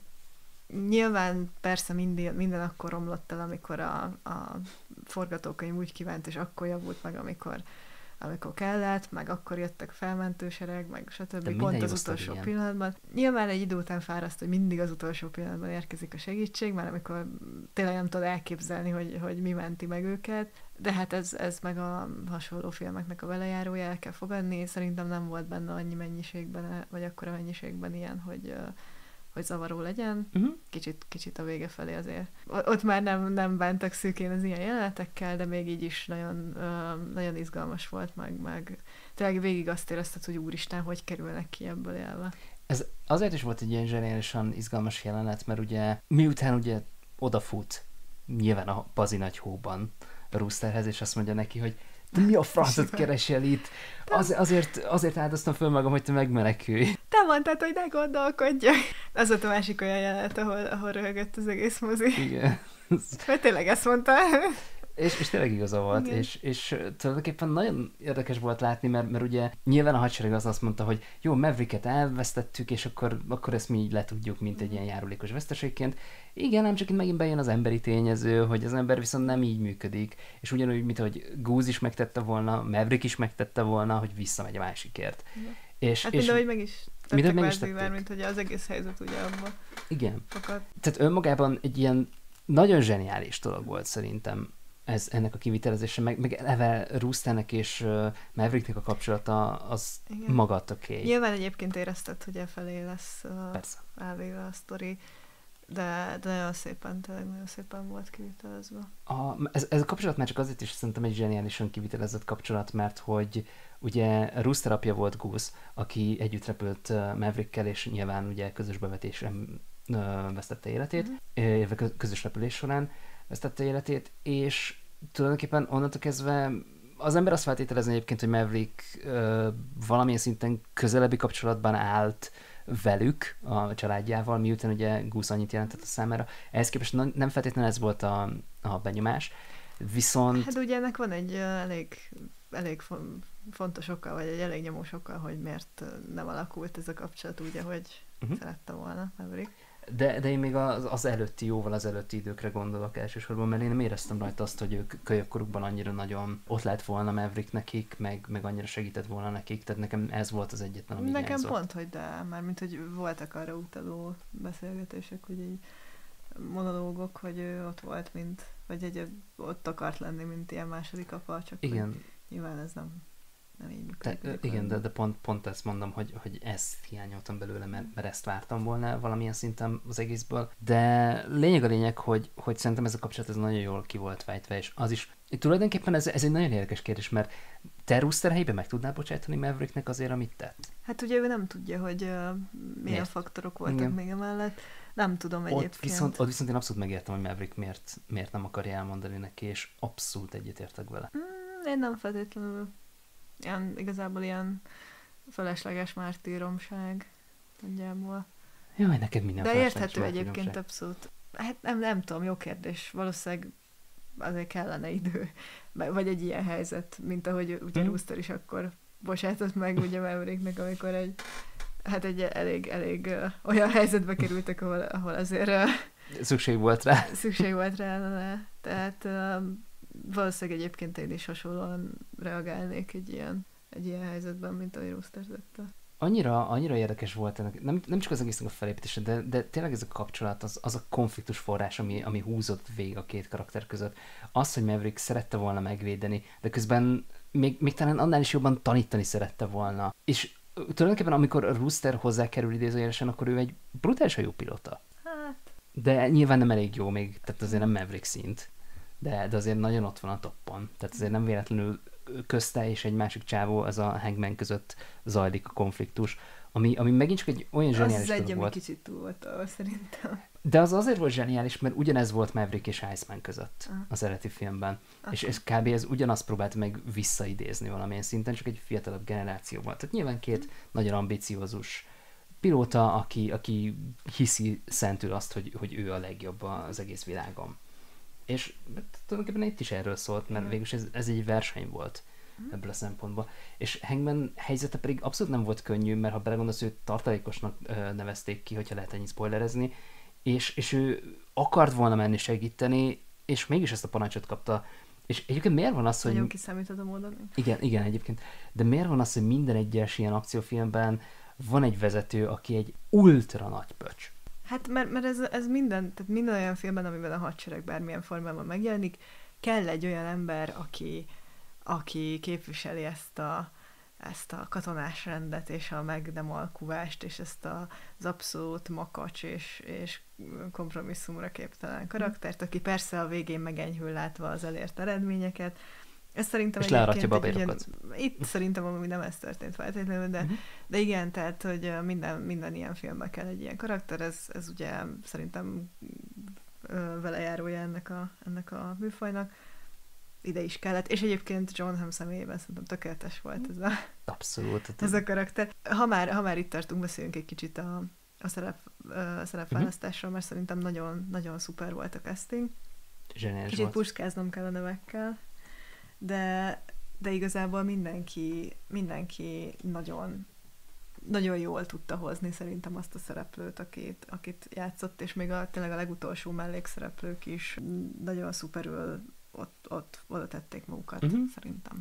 Abszolút. Um, ha valakit ki, nekem ki kéne emelnem ebből, a, ebből az egészből, az mindenféleképpen Walt Kilmer lenne, aki, akin azért nagyon Kigondolta látszott. volna. Nem, de rajta nagyon látszott, hogy nincsen jól, és, és Mhm. mégis bevállalt azt az egy jelentet, és, és azért az a jelenet, az szerintem És ez egy nagyon fontos jelent az egy nagyon fontos jelenet volt, de brutális. Érzelmi hatást tudod Igen. gyakorolni szerintem az emberre, mert valahogy, valahogy benne volt egyrészt 30 évnek a barátsága, vagy kapcsolata, vagy nem tudom, mert tulajdonképpen Iceman volt az, aki miatt uh, Maverick még mindig a seregben szolgál, és még Igen. mindig repülhet. Ő, ő volt az, aki mindig megvédte. És nagyon érdekes volt látni azt, hogy tulajdonképpen Icemannek a, a karrierje az, az mennyire gyorsan ívelt fölfelé idézőjelesen, míg Tom Cruise figurája meg ugyanabban a szerepkörben tetszelget évtizedek óta. Ugyan, ugyanaz volt a rangja, soha nem lekítették elő, soha nem kapott semmilyen olyan nagyon nagy dolgot, és, és valahogy, valahogy meg mégis nagyon jó barátok tudtak maradni ez a, ez a 30 év alatt is, és szerintem az, az a jelenet, az, az tényleg egy olyan volt, amit, amit úgy legszívesebben, hogyha, hogyha egyedül nézem, akkor biztos, hogy elbőgöm magam rajta, mert nagyon-nagyon ja. erős volt. Meg hát azért az, hogy, hogy gyakorlatilag Val Kilmer karaktere is ugyanabban a betegségben szenvedett, mint maga Val Kilmer, azért uh-huh. elég uh, hozzátett ahhoz, hogy vagy amiért ez egy, ez egy nagyon megrázó jelenet szerintem. Persze, nem is, nem is keveset. Érdekes, hogy, hogy hát kb. egy olyan, nem tudom, 5-6 perces jelenet lehet, amiben a végén hangzik el talán két mondat Walkimer részéről, és fú, nem, nem tudom, nekem, nekem az, is, az is egy nagyon libabőrös rész volt. Melyikre gondolsz konkrétan?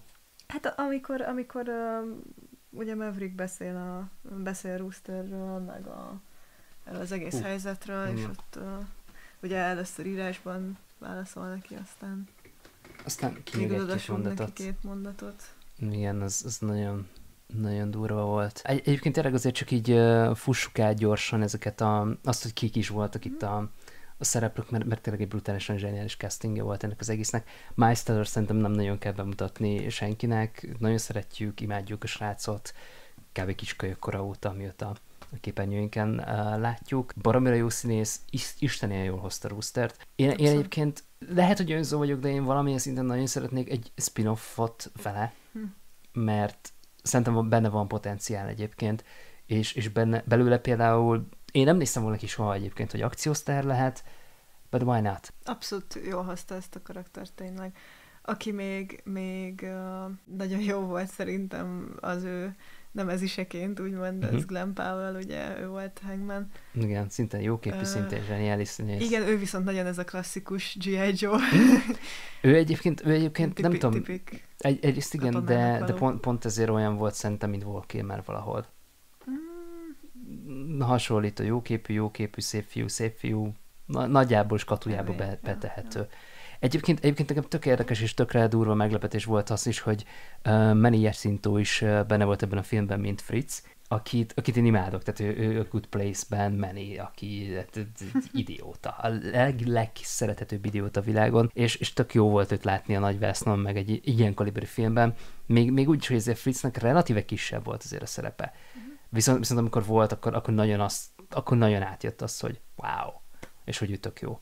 Uh-huh. Egyébként meg ugye Bob is, akit uh, Louis Pullman játszott, ő is nagyon jó Bobot volt. is imádtam egyébként. Bob zseniális volt. Ő, ő volt a comic relief karakter Igen, igazából. Ő olyan volt, mint a, a The Suicide Squadban a Polka Dotman egyébként.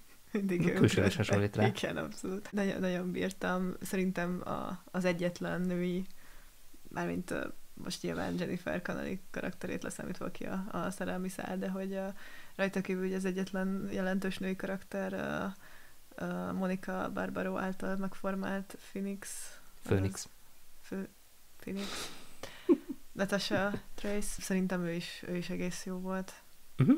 Egy tök, tök jó kis... Vagány... Aha. Meg, meg igazából... nem volt túltolva itt a Girl Power sem, ami, ami szintén tök jó volt. Ami, ami azért egy nagyon érdekes kérdés, mert az ilyen filmekről nekem mindig Michelle Rodriguez ugrik be. Miért? És nem tudom, most egy hülyeséget fogok mondani a halálos iramban, kb. És, és tudod, vagány, autószerelő csaj, meg De mit tudom én. nagyon túl van tolva. Igen, és, és hozzá képest az, amit mi itt láttunk hmm. Phoenixből, az, az egy felüdülés volt. Milyen értelemben? Hát, hogy, hogy nem volt túltolva semmilyen girl power-je, meg szintén semmi. tanulni kell Hollywoodnak, mert mondjuk mm. azt megjegyzem, hogy azért olyan rengeteg szerepet nem kapott. De, de mégis azért eléggé fontos szerepe volt, hiszen azért mégiscsak nekik kellett volna megcsinálniuk a, az egyik küldetést, meg, meg azért elég veszélyes szituációba kerültek be ők is. Persze csak, hogy, hogy, hogy mondjam, tehát hogy arra viszont nem volt elég idő, hogy az ő karaktere ki legyen fejtve, tehát hogy ő, ő igazából egy Nagyon sok szereplő, szereplő volt, volt, persze. Igen, ö, ilyen szempontból nem is nagyon volt lehetőség túltolni, uh-huh. szerintem tök, tök normális Mm. Ő, ő is nagyon, nagyon illett, szerintem itt a színésznő nagyon jól adta ezt a karaktert, meg igazából mindenkinél úgy érezted, hogy, mm. hogy tök, tökre illik hozzá az, amit, vagy az, akit megformál. Persze, John Hamm, aki ugye uh, Sziklont játszotta, aztán ott volt nekünk Parnell, aki ugye Varlokat játszotta. Ő is zseniális. Fenomenálisan jó volt. Ő, ő, ő tipikusan az a, az a típus, aki, aki Mavericknek szorít, és érzed rajta, hogy szorít Igen. Mavericknek, és Igen. imádom az ilyen figurákat. Nem kell érezni rajta, mert elég egyértelművé teszi. igen, igen, hogy szimpatizál vele azért. De, de tök jó, hogy, hogy látod azt, hogy oké, okay, hogy a hadsereg az ilyen by the rules Igen, de azért kategóriás, vannak, vannak. de azért vannak olyanok, mint Maverick, aki, aki azért tudja, hogy nem mindig könyv szerint kell eljárni. Mert, mert például, ha visszaemlékszel, akkor ugye az első dolog, amit ugye Maverick csinál, az az, hogy itt van az F-18-asnak a, a mizéja, bizonyára olvasták, persze, na náz, alap, fogja, dobja a kukába, és azt mondja, jó, az ellenség is tisztában van ezzel. Klasszik, klasszik move. De, de zseniális. És akkor ugye ott volt a te nagy kedvenced, uh, Bashir Salahuddin, aki ugye Hondót játszotta, aki a, azt hiszem a, a, ő volt a segítője. Igen, És, és hát tulajdonképpen ő fenomenálisan jó comic relief karakter volt megint csak. igen, igen. Meg, meg, meg ő az a, az igazi társ, ő az igazi sidekick, igen. ami, ami, amiből nem nagyon kaptál ebben a filmben, pedig azért lehetett volna. Hát szerintem azért így is két és fél órás volt kb. a film. Nem tudom pontosan egyébként, hogy me- mennyi a runtime. Mm, 2 óra 17, ha jól emlékszem. Igen, tehát hogy nem fért bele az, hogy még azt is kifejtsék. Itt nyilván ugye a csapat, meg, a, meg Rooster volt a központi, meg hát nyilván maga Maverick. Szerintem ez a karakter is tök jól működött ilyen sidekickként. Persze. Mi, Én el tudnék viselni még egy filmet ezekkel a karakterekkel. Ezt mindjárt gondoltam. Én egyébként azt is elbírtam volna viselni, hogy ez még egy kicsit hosszabb lett volna. Mm, De én egy kicsit szeretném egyébként azt, hogy a Paramount Plus-ra, amikor majd fölkerül, ami nálunk Sky Showtime lesz, hogy a ne Isten lenne egy rendezői változat, ami véletlenül előkerül, és mondjuk egy 10 perccel hosszabb lenne, azt én nagyon tudnám élvezni. Kb. kb. mint ebből az adásból. I- igen. Tökéletesen megfogalmaztad, majd ebből az adásból is lehet egy rendezői változat. Ez az adás plusz maga. 10, plusz 10 percet beszélünk. Ez az adás abszolút, abszolút maga a rendezői változat. Igen, igen. Na hát, aki, aki kitartott és eljutott ideig, az annak már adjál valami, valami, nem tudom, Tanulságot? kedvezményt, vagy... Kedvezményt, miből kedvezményt? A kultír támogat bennünket. Ezt- ezt belőlük, akartam. belőlük tudunk kedvezményt adni. Adjunk, adjunk, adjunk egy ilyen kedvezményt, hogy aki eljutott ideig és leírja kommentben a titkos kódot, az, az mondjuk, nem tudom, kap egy füzetet ingyen, egy digitális füzetet ingyen. Fair enough. Oké, okay, Szóval a az a, az a nulla ember, aki eljutott ideig, és leírja a kódot, ami... Mi legyen, mi legyen a kód? Mi legyen a kód? Nighthawk. Oké, Nem tetszik? Nem tetszik? Szabadon módosítható. oké. Csak most ha már repülőknél tartunk, akkor egy, gondoltam, egy ikonikus modellt azért behozzunk. Ja, azt Mindegy. hittem lehetett, lehetett volna tíz mag is, aki, aki eléri először a tíz magot, az, az kap tíz ingyen fizetet, vagy valami ilyesmit. Ezek közül bármelyik, az enyém szerintem menőbb. Mindegy, szóval az, az a nulla ember, aki eljutott ideig, kommenteljen, és, és egy ingyenes, szabadon választott digitális füzet a kultri.hu voltából. Ez egy jó, jó, jó alkunak hangzik szerintem egyébként, hogy valaki eljutott Na eddig. de, hogy... Mert, mert hogy igazából a legnagyobb hibát, amit el tudsz követni ezzel a filmmel szemben, az több mint valószínű, hogy az, hogy nem vagy ott a moziban és nézed most rögtön. Pontosan. Ahelyett ezt a két idiótát hallgatod, hogy beszél róla. Ami egyébként tök jó, mert egyébként, hogyha hazafelé tartasz, akkor, akkor szerintem tök rendben van. Mert Hát akkor, amennyiben másfél órát tart hazamenni, akkor, akkor valóban. hát nekem külföldön kb. annyit tartott Hát, az ha, ha szóval... valaki most, most vonatozik haza Pestről a 4D-s IMAX élmény után, akkor lehet, hogy neki olyan. Igen, szóval összegezve az egészet, a Maverick egy finoman szóval is tökéletes alkotás. Nagyon kevés dologba lehetne belekötni, és amiben bele lehetne kötni, abban nem fogunk belekötni, mert vannak hibái, minden filmnek vannak hibái, de nem fogunk belekötni, mert Ez... Az egészet kell nézni. egyrészt az egészet kell nézni, viszont szerintem azért, mert ez egy élményfilm. Igen. A legtöbb film látványfilm, és tök jó, megérdemlik a nagyvásznot, ott kell látni, tényleg jól kell szeretni szórakozni, de ez egy élményt ad. Abszolút. Abszolút. Itt teljesen, teljesen be tudja vonni az embert a szó leg, legjobb értelmében. Úgyhogy abszolút, abszolút ajánlom mindenkinek.